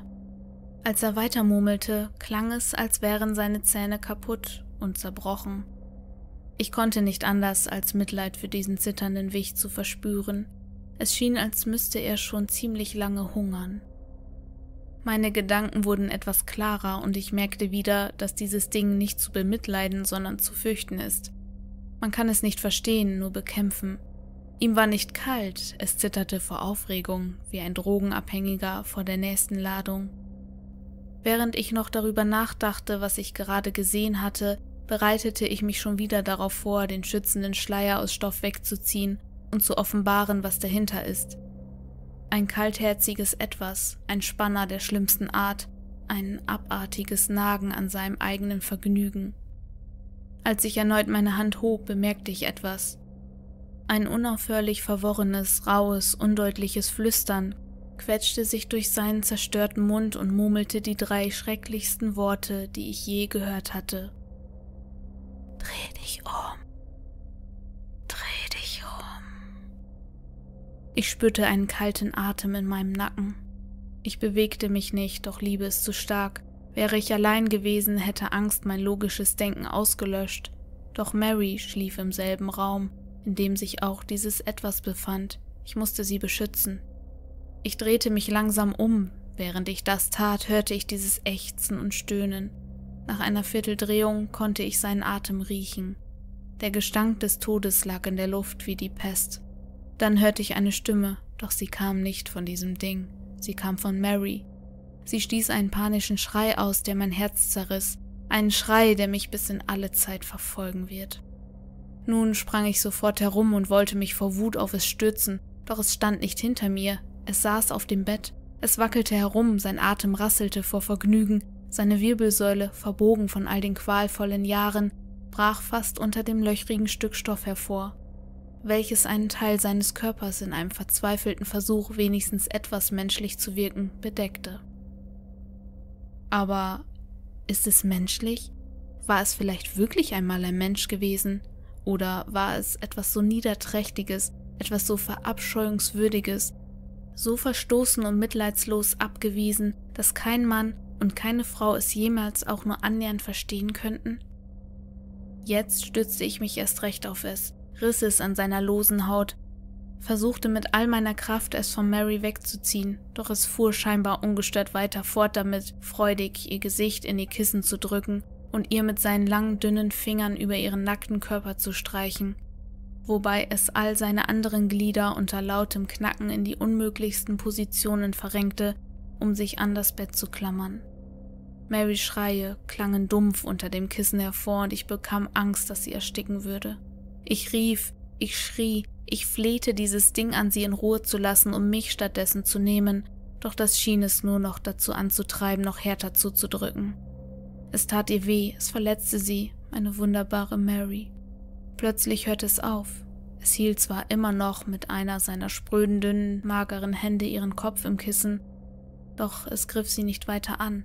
Ich umklammerte seinen Hals, tat mein Bestes, um es herunterzureißen, doch meine Bemühungen waren umsonst. Seine dürre Erscheinung täuschte. Es hatte immense Kraft. Qualvoll musste ich mit ansehen, wie es begann, seine toten Finger durch Marys Haare gleiten zu lassen, langsam, fast schon liebevoll. Ich hörte jetzt nichts mehr außer dem Brechen seiner Knochen, dem Knacken seiner Knöchel und dem Reißen seiner Sehnen. Was für ein Glück, es wollte Mary doch nichts antun. Ich hing mittlerweile auf seinem Rücken, einen Arm um seinen Hals gedrückt, während seine Wirbelsäule in meinen Magen stach. Während mein Kinn an seiner rauen Haut entlang schliff, drehte es seinen Kopf auf unmenschliche Weise. Sein Nacken krachte und ächzte unter der Anstrengung, als ob er von tausenden Jahren Leichenstarre daran gehindert wurde. Nun sah es mich an. Manche von euch kennen bestimmt das Gefühl, sprichwörtlich den Wald vor lauter Bäumen nicht zu sehen. Ich war jedenfalls an dieser Stelle ziemlich dankbar, dass dieser Fall eintrat. Ich war so nah an seinem dunklen, kalten Blick dran, dass ich außer diesem Blick nichts anderes in seinem Gesicht wahrnahm. Ich zog noch fester, fluchte, schrie, ich hätte ihm den Kopf abgerissen, wenn ich gekonnt hätte. Aber es war alles vergebens. Es fuhr unbekümmert damit fort, seine Finger durch Marys Haar gleiten zu lassen, während es mich nur ansah. Ich glaube nicht, dass ich mich jemals von diesem Geräusch erholen kann, welches aus etwas, wovon ich denke, dass es der Anflug eines Grinsens sein sollte, hervorsickerte. Ein stöhnendes Seufzen, ein Grunzen, etwas, was sehr nach einem finsteren Lachen klang. Als sein Gesicht meines berührte, starrte es tief in meine Augen, noch nicht einmal meine Reflexion schien zurück. Seine Augen waren zwei leere schwarze Glaskugeln in der Dunkelheit seiner Augenhöhlen, ohne eine Spur von Licht, Freude oder Liebe in sich. Es sah aus, als wolle es mir etwas sagen, mir eine einfache Nachricht mitteilen. Böswilligkeit. Mit seltsam hackenden und gewaltvollen Bewegungen riss es eine Handvoll von Marys Haaren aus ihrem Kopf, wobei es eine offene Wunde hinterließ. Dann war es weg. Mary schrie nicht, sie schluchzte nur. Ich schaltete die Nachttischlampe an und egal was ich sagte, ich konnte sie nicht beruhigen. Sie weinte unkontrollierbar heftig. Das Bett war übersät mit Flecken von Blut, welches aus den unzähligen Kratzern auf ihrem Rücken und der großen Wunde heraussickerte, wo vorher ihr Haar gewesen war. Ich nahm sie in den Arm und sagte, dass alles wieder gut werden würde, dann sah sie mich an. Als ich in ihre mit Tränen gefüllten Augen sah, wusste ich, was sie dachte. Sie glaubte, dass ich sie angegriffen hatte, dass ich ihr das angetan hatte. Von all den Erinnerungen, die ich habe, war dieser Blick voll Ekel und Abscheu als die schmerzvollste erhalten geblieben. Sie ist weg. Nachdem sie sich wieder einigermaßen gesammelt hatte, packte sie ein paar ihrer Sachen zusammen und ging. Ich versuchte ihr alles zu erklären, doch sie hörte mir noch nicht einmal zu. Sowieso, wer würde solch eine absurde Geschichte glauben? Sie sagte nur, dass sie die Polizei aus dem Spiel lassen würde, doch wenn ich irgendwie versuchen sollte, sie zu kontaktieren, würde sie diese sofort alarmieren. Für sie war ich der Angreifer, nicht dieses Ding. Als sie aus der Tür ging, drehte sie sich noch einmal um und sah mich an. Dann brach sie wieder in Tränen aus. Ich habe sie für immer verloren. Die Frau, die ich mehr liebe als alles andere auf dieser Welt, denkt, ich wäre ein abscheuliches, brutales, menschliches Wesen. Wenn sie doch nur verstehen würde, dass was auch immer es war, nicht menschlich ist, und falls es das einmal war, diese Zeit schon lange hinter ihm liegt. Es war heute Morgen um fünf Uhr, als sie ging, jetzt ist es neun, ich sitze hier im kalten Licht des frühen Tages an meinem Küchentisch und schreibe das hier, so dass ich eine Art Aufzeichnung habe, so dass die Leute wissen, so dass Mary weiß, dass alles, was von nun an geschieht, nur noch wegen dieser scheußlichen Kreatur aus diesem verfluchten kleinen Zimmer aus meiner Kindheit geschieht, welches nun dieses Elend über mich gebracht hat, über uns. Ich muss mich jetzt von all meinen Gefühlen befreien, ich könnte hier jetzt einfach sitzen und dem Verlust meiner Beziehung mit Mary hinterher trauern oder mich von meiner Angst überwältigen lassen und nichts tun. Aber das würde logischerweise auch nichts bringen. Ich höre draußen das Lachen der Nachbarskinder. Ich erinnere mich an das Gefühl von Glück und Freude, verursacht durch so simple Dinge wie mit Freunden zu spielen oder einen Baum hinauf zu klettern oder die Frau zu küssen, die ich liebe oder einfach nur nachts einzuschlafen und von schönen Dingen zu träumen, sicher und geborgen im Haus der Familie. Erinnerungen. Alles nur Erinnerungen. Ich fürchte, ich werde diese Freude nie mehr spüren können. Dieses Ding hat mich zerstört. Aber ich habe mich entschlossen, was auch immer es noch vorhat, was auch immer dieses abscheuliche Vieh noch alles mit mir anstellen will, ich werde nicht zulassen, dass es noch einer anderen Person Schaden zufügt oder in das Leben eines unschuldigen Kindes eindringt, wie in meines all die Jahre zuvor. Ich muss nun aufhören zu erzählen. Es gibt noch einiges zu tun, bevor es dunkel wird, bevor es wiederkommt. Mein Plan steht und ich brauche nur ein bisschen Glück, dann klappt alles. Ich wünschte, ich könnte sagen, ihr hört von mir, aber das ist unwahrscheinlich. Ich hoffe, ihr wisst, was getan werden muss. Heute Nacht werde ich es töten.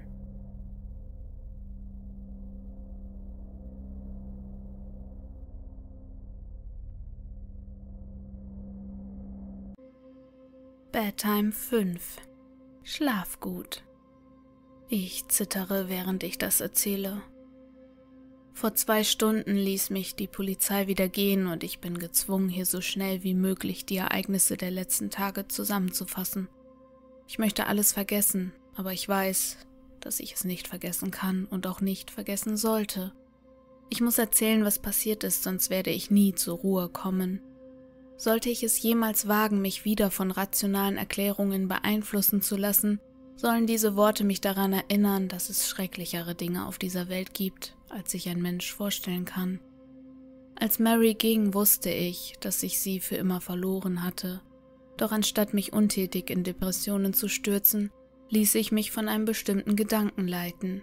Ich musste dieses Ding zerstören, bevor es noch irgendeiner anderen unschuldigen Seele Schaden zufügen konnte. Ich wusste, dass ich mein Leben dabei verlieren könnte.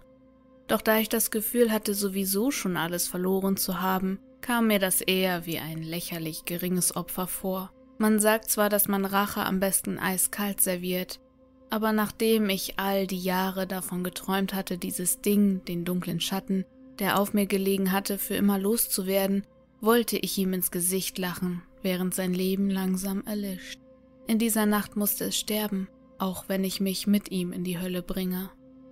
Die nächsten Stunden beschäftige ich mich damit, ein paar Sachen zusammenzupacken und einen Brief an Mary und meine Familie zu schreiben, worin ich alles erklärte und sagte, dass nichts ihre Schuld war. Ich rief meine Eltern und meinen Bruder an, nur um noch ein letztes Mal ihre Stimmen zu hören, ließ mir aber nicht anmerken, dass das wohl das letzte Mal sein wird, dass wir miteinander sprechen. Meine Mutter fragte mich instinktiv, ob alles in Ordnung sei. Ich lächelte und sagte ihr, dass ich sie lieb habe, bevor ich mich widerwillig verabschiedete. Gegen 19 Uhr ging ich raus zu meinem Auto. Die Sonne war schon fast vollständig untergegangen und die Straßen schienen unheimlich still, leise wie ein einsames Begräbnis. Ich setzte mich in den Fahrersitz und ließ die Beifahrertür offen stehen. Ich erwartete einen unwillkommenen Besucher.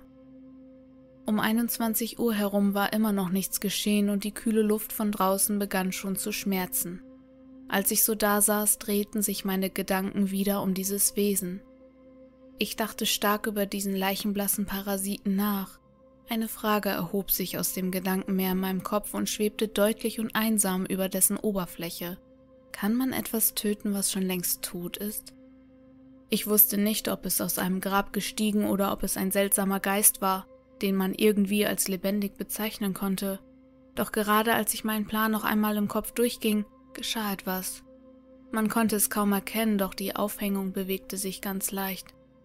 Wäre das unter anderen Umständen geschehen, hätte ich es auf einen Windstoß geschoben, der am Fahrgestell wackelte. Doch ich kannte dieses Gefühl noch zu gut. Ein kaum spürbares Ruckeln am Bett, als dieses Ding unten in es hineinkroch. Ich erkannte es, wenn es da war. Die Luft wurde dichter, als wenn etwas sie verschmutzte. Es war bei mir im Auto. Unsichtbar, ja, aber dennoch da. Als ich ein leises, röchelndes Atmen vom Rücksitz hörte, lehnte ich mich vorsichtig zur Beifahrertür und schloss sie vorsichtig. Ich drehte den Schlüssel um und fuhr auf die Straße. Fast könnte ich schwören, ein leises, seltsam fieses Kichern von hinten gehört zu haben, das mich auslachen sollte. Wusste es, was ich vorhatte? Es war keine weite Reise, und durch die vielen Hügel hob und senkte sich die Straße immer wieder. Eine stetige Erinnerung an diese Isolation in der Nacht. Gelegentlich hörte ich etwas hinter mir, doch ich drehte mich kein einziges Mal um. Geduld. Es würde nicht mehr lange dauern, bis ich es beenden würde. Diese Ironie. Ich war kurz davor, demselben Wesen einen riesigen Schrecken einzujagen, welches mir all die Jahre zuvor Angst gemacht hat.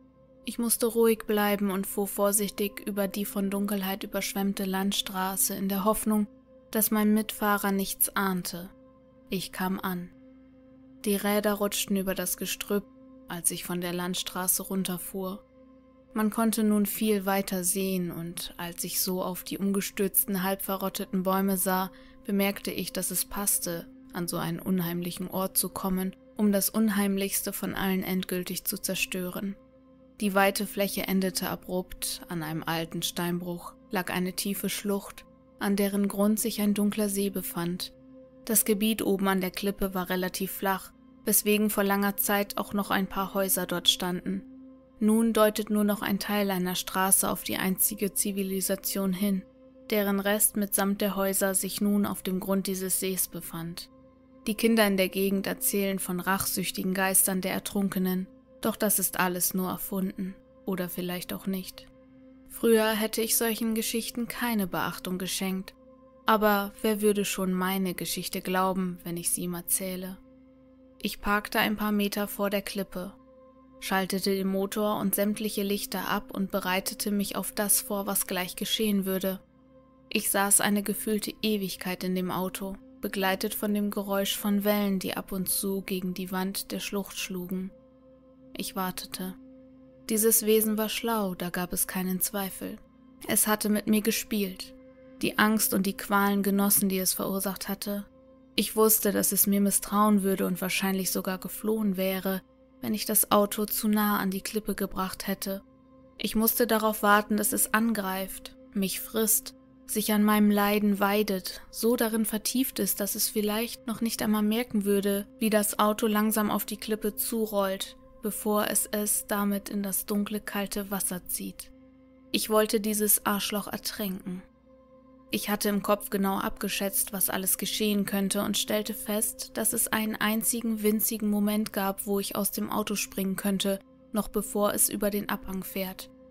Mary und ich waren oft dort gewesen, ein Ort, um in Ruhe zusammen sein zu können, abseits von allem anderen, und es sah nie so kahl und kalt aus wie jetzt.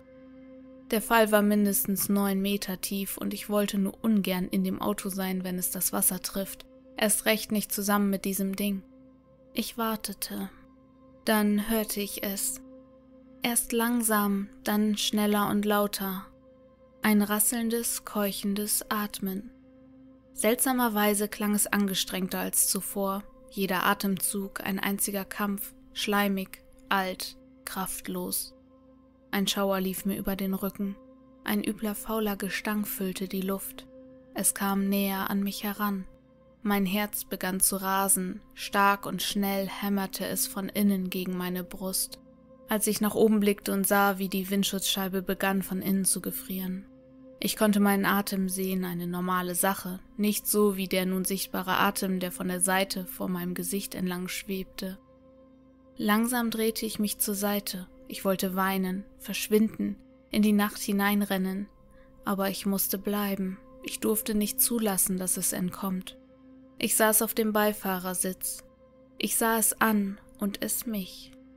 Seine Schultern umhüllt von der Dunkelheit, verdreht, dürr, die Hände geformt, als wollen die einer Leichenstarre entfliehen, bewegte es sich auf mich zu. Eines seiner Beine knackte, als es sich über meinen Schoß auf die andere Seite bewegte. Es saß auf mir.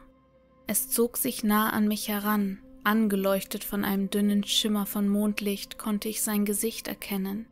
Haut hing von seinen zerstörten Gesichtszügen herab, glasige Augen starrten in meine, als sich ein breites Grinsen über seinem Gesicht erstreckte. Durch das halb verrottete Fleisch war dieses unnatürlich weit und offenbarte verfaulte Muskeln, kaputte Zähne und Sehnen unter der Haut. Während es sich näher an mein Gesicht zog, offenbarte sich eine feuchte, verfaulte Zunge, die man etwas durch ein fehlendes Stück in seinem Kiefer erkennen konnte. Der Gestank strömte durch sein heftiges Keuchen und Ausatmen in meine Augen und in meinen Mund, wodurch ich würgen musste. Als ich das tat, hielt es einen kurzen Moment inne, dann kicherte es in sich hinein, glücklich, zufrieden. Als ich in seine kalten Augen sah, machte es doch wieder den Eindruck, als sähe ich in die Augen eines geplagten, zunehmend schwächer werdenden alten Mannes. Es war immer noch unglaublich stark, aber es schien, als hätte es etwas seiner Kraft verloren. Vielleicht hatte es doch etwas damit zu tun, dass es das kleine Zimmer in dem alten Haus verlassen hat. Seine langen, dürren Finger strichen über mein Gesicht, dann als Zeichen seiner Kraft stach es einen von ihnen tief in meine Schulter. Ich schrie, als es ihn krümmte und drehte, um mir so viel Schaden und Schmerz zuzufügen, wie ihm damit möglich war. Währenddessen glitt die andere Hand an meinem Körper herab. Es fasste mich an. Jetzt war der richtige Zeitpunkt. Mit meinem freien Arm drehte ich den Schlüssel, schaffte es irgendwie den Schmerz halbwegs zu ignorieren, legte den Gang ein und drückte das Gaspedal durch.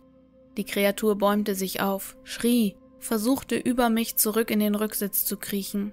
Doch ich hielt es mit all meiner Kraft bei mir, Die Wut auf das, was es Mary angetan hatte, gab mir zusätzliche Kraft. Wir rasten auf die Klippe zu, verzweifelt sah ich zur Fahrertür. Als wir uns dem Hang näherten, schrie ich vor Wut und schubste ihn von mir. Es krabbelte in den Rücksitz, kämpfte um sein Leben, während ich um mein Leben kämpfte, indem ich die Tür aufschloss. Es war zu spät. Das Auto stürzte über die Klippe und bevor ich es mitbekam, schlugen wir schon in das dunkle Wasser, teilten die glasähnliche Oberfläche mit gewaltiger Kraft. Ich hätte sterben sollen, doch eine Art Kissen aus Luft nahm mir die Fallkraft. Trotz allem schaffte ich es noch, mit meinem Kopf gegen den Türrahmen zu knallen. Betäubt sah ich mich um, das Geräusch, welches dieses Ding hinter mir von sich gab, klang verzerrt und doch vertraut. Der Schrei eines dämonischen Kindes entkam dem Wesen, welches wusste, dass es kurz vor dem Tod stand. Das Wasser war fast gefroren und strömte nun mit solcher Kraft durch die zerstörte Tür hinein, dass ich an die andere Seite geworfen wurde. Ich holte verzweifelt tief Luft, und mein Mitfahrer tat es mir gleich. Es warf sich hin und her auf der panischen Suche nach einem Ausweg. Als es die offene Tür bemerkte, zog es sich an den Vordersitzen gegen das anströmende Wasser nach vorne. Ich ballte meine Hand zur Faust und schmetterte sie mit voller Kraft in das Gesicht dieses Scheusals. Kleine Stücke des verrotteten Fleisches wurden mitgerissen, als eine tiefschwarze Flüssigkeit aus der entstandene Wunde sickerte. Wieder versuchte es an mir vorbeizukommen, und ich wusste, dass ich mit ihm sterben musste, um es lange genug in dem Auto zu halten. Ich war starr vor Kälte, als das eisige Wasser mein Kinn erreichte. Mein Herz kämpfte gegen die Kälte an und mit einem plötzlichen Ruck tauchte ich unter. Ich hielt meinen Atem an und bereitete mich auf einen kalten Tod vor. Ich hoffte nur noch, dass es nicht zu sehr wehtun wird. Meine Gedanken wanderten noch einmal zu Mary und zu meiner Familie. Und ein Gefühl von Trauer überkam mich. Doch als ich gegen dieses Ding ankämpfte, ihm den Weg nach draußen versperrte und es zurückhielt, sah ich kurz nach unten und bemerkte etwas. Sein Bein war durch den Aufprall zwischen Armaturenbrett und Boden des Autos eingeklemmt, und es konnte sich zwar noch bewegen, das Auto aber nicht mehr verlassen. Ich drehte mich sofort um und schwamm aus der Tür. Ich konnte zwar kaum was erkennen, aber das Mondlicht reichte aus, um mir den Weg zu leuchten. Als ich gerade durch die Tür gekommen war, schnappte sich dieses Biest mein Bein und zog mich zu sich zurück. Es hatte jede Hoffnung aufgegeben, doch es wollte, dass ich mit ihm ertrinke. Wir kämpften eine gefühlte Ewigkeit miteinander, während wir langsam immer tiefer in unser kaltes, nasses Grab sanken. Ich spürte, wie mein Körper mich anflehte zu atmen, das letzte bisschen Luft in mir auszustoßen und dann das eiskalte Wasser in mir aufzunehmen.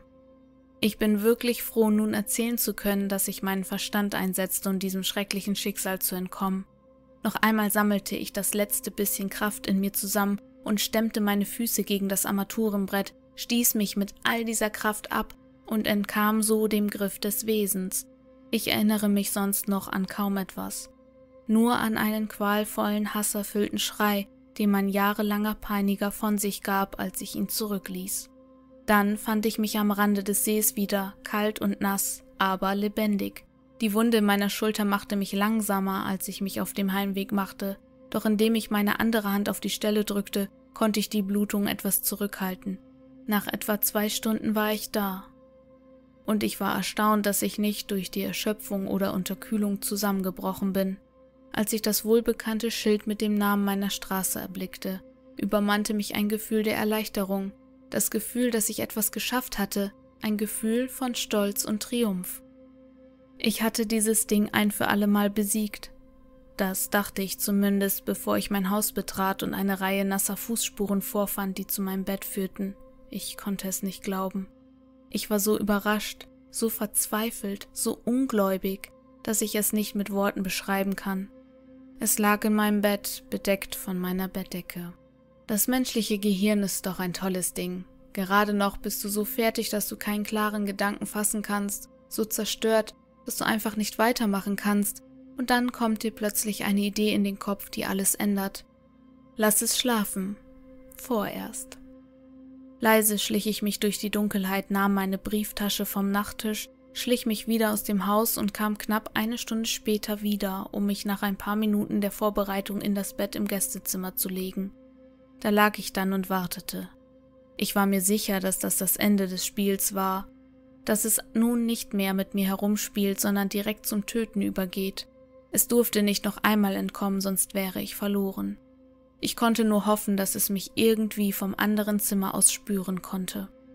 Ich schloss meine Augen und tat so, als ob ich schlafe. Während die Zeit verging, versuchte ich zwar dagegen anzukämpfen, doch ich war so erschöpft, dass ich nicht lange kämpfen konnte und schon bald war ich in einem tiefen Schlaf gesunken. Ich wachte auf, als es seine Hände um meinen Hals legte. Es hustete und zischte über mir, während eine widerliche schwarze Flüssigkeit aus den Wunden in sein Gesicht auf meines tropfte. Durch Herumzappeln und starkes Winden versuchte ich irgendwie die Kraft aufzubringen, seinem Griff zu entkommen, doch es war zu stark und ich konnte es einfach nicht greifen, da es immer noch durchnässt war. Es war vielleicht nicht das Beste, was ich tun konnte, doch als langsam das Licht vor meinen Augen erlosch, tat ich, was so viele andere Tiere auch tun würden. Ich spielte tot. Ich bewegte mich nicht mehr und hielt den Atem an, während das Vieh auf mir mich rüttelte und dann losließ. Ich wartete auf den richtigen Moment, meine letzte Chance, das Ding zu zerstören. Sein Atem beruhigte sich und es starrte mich an, fast schon, als ob es wusste, was ich tat. Ich wartete darauf, dass es sich so hinsetzte, dass ich es auf den Boden schubsen konnte. Es kam näher an mich heran und lächelte spöttisch. Dann sammelte es etwas seines verfaulten Speichels in seinem Mund, in etwas, was wie eine Wange aussah, und spuckte mir die eklige Flüssigkeit in mein Gesicht. Der letzte Rest tropfte durch das Loch in seinem Kiefer. Ich wollte schreien, irgendetwas tun, um diese ekelhafte Schmiere von meiner Haut zu entfernen, doch ich durfte mich nicht bewegen. Es war noch nicht der richtige Zeitpunkt. Kurz darauf fing es an, in der Wunde meiner Schulter herumzustochern und alles wieder aufzukratzen. Der Schmerz war gigantisch, aber ich gab kein Lebenszeichen von mir. Dann schob es langsam und geduldig zwei seiner dünnen, missgebildeten Finger an meinen Mund.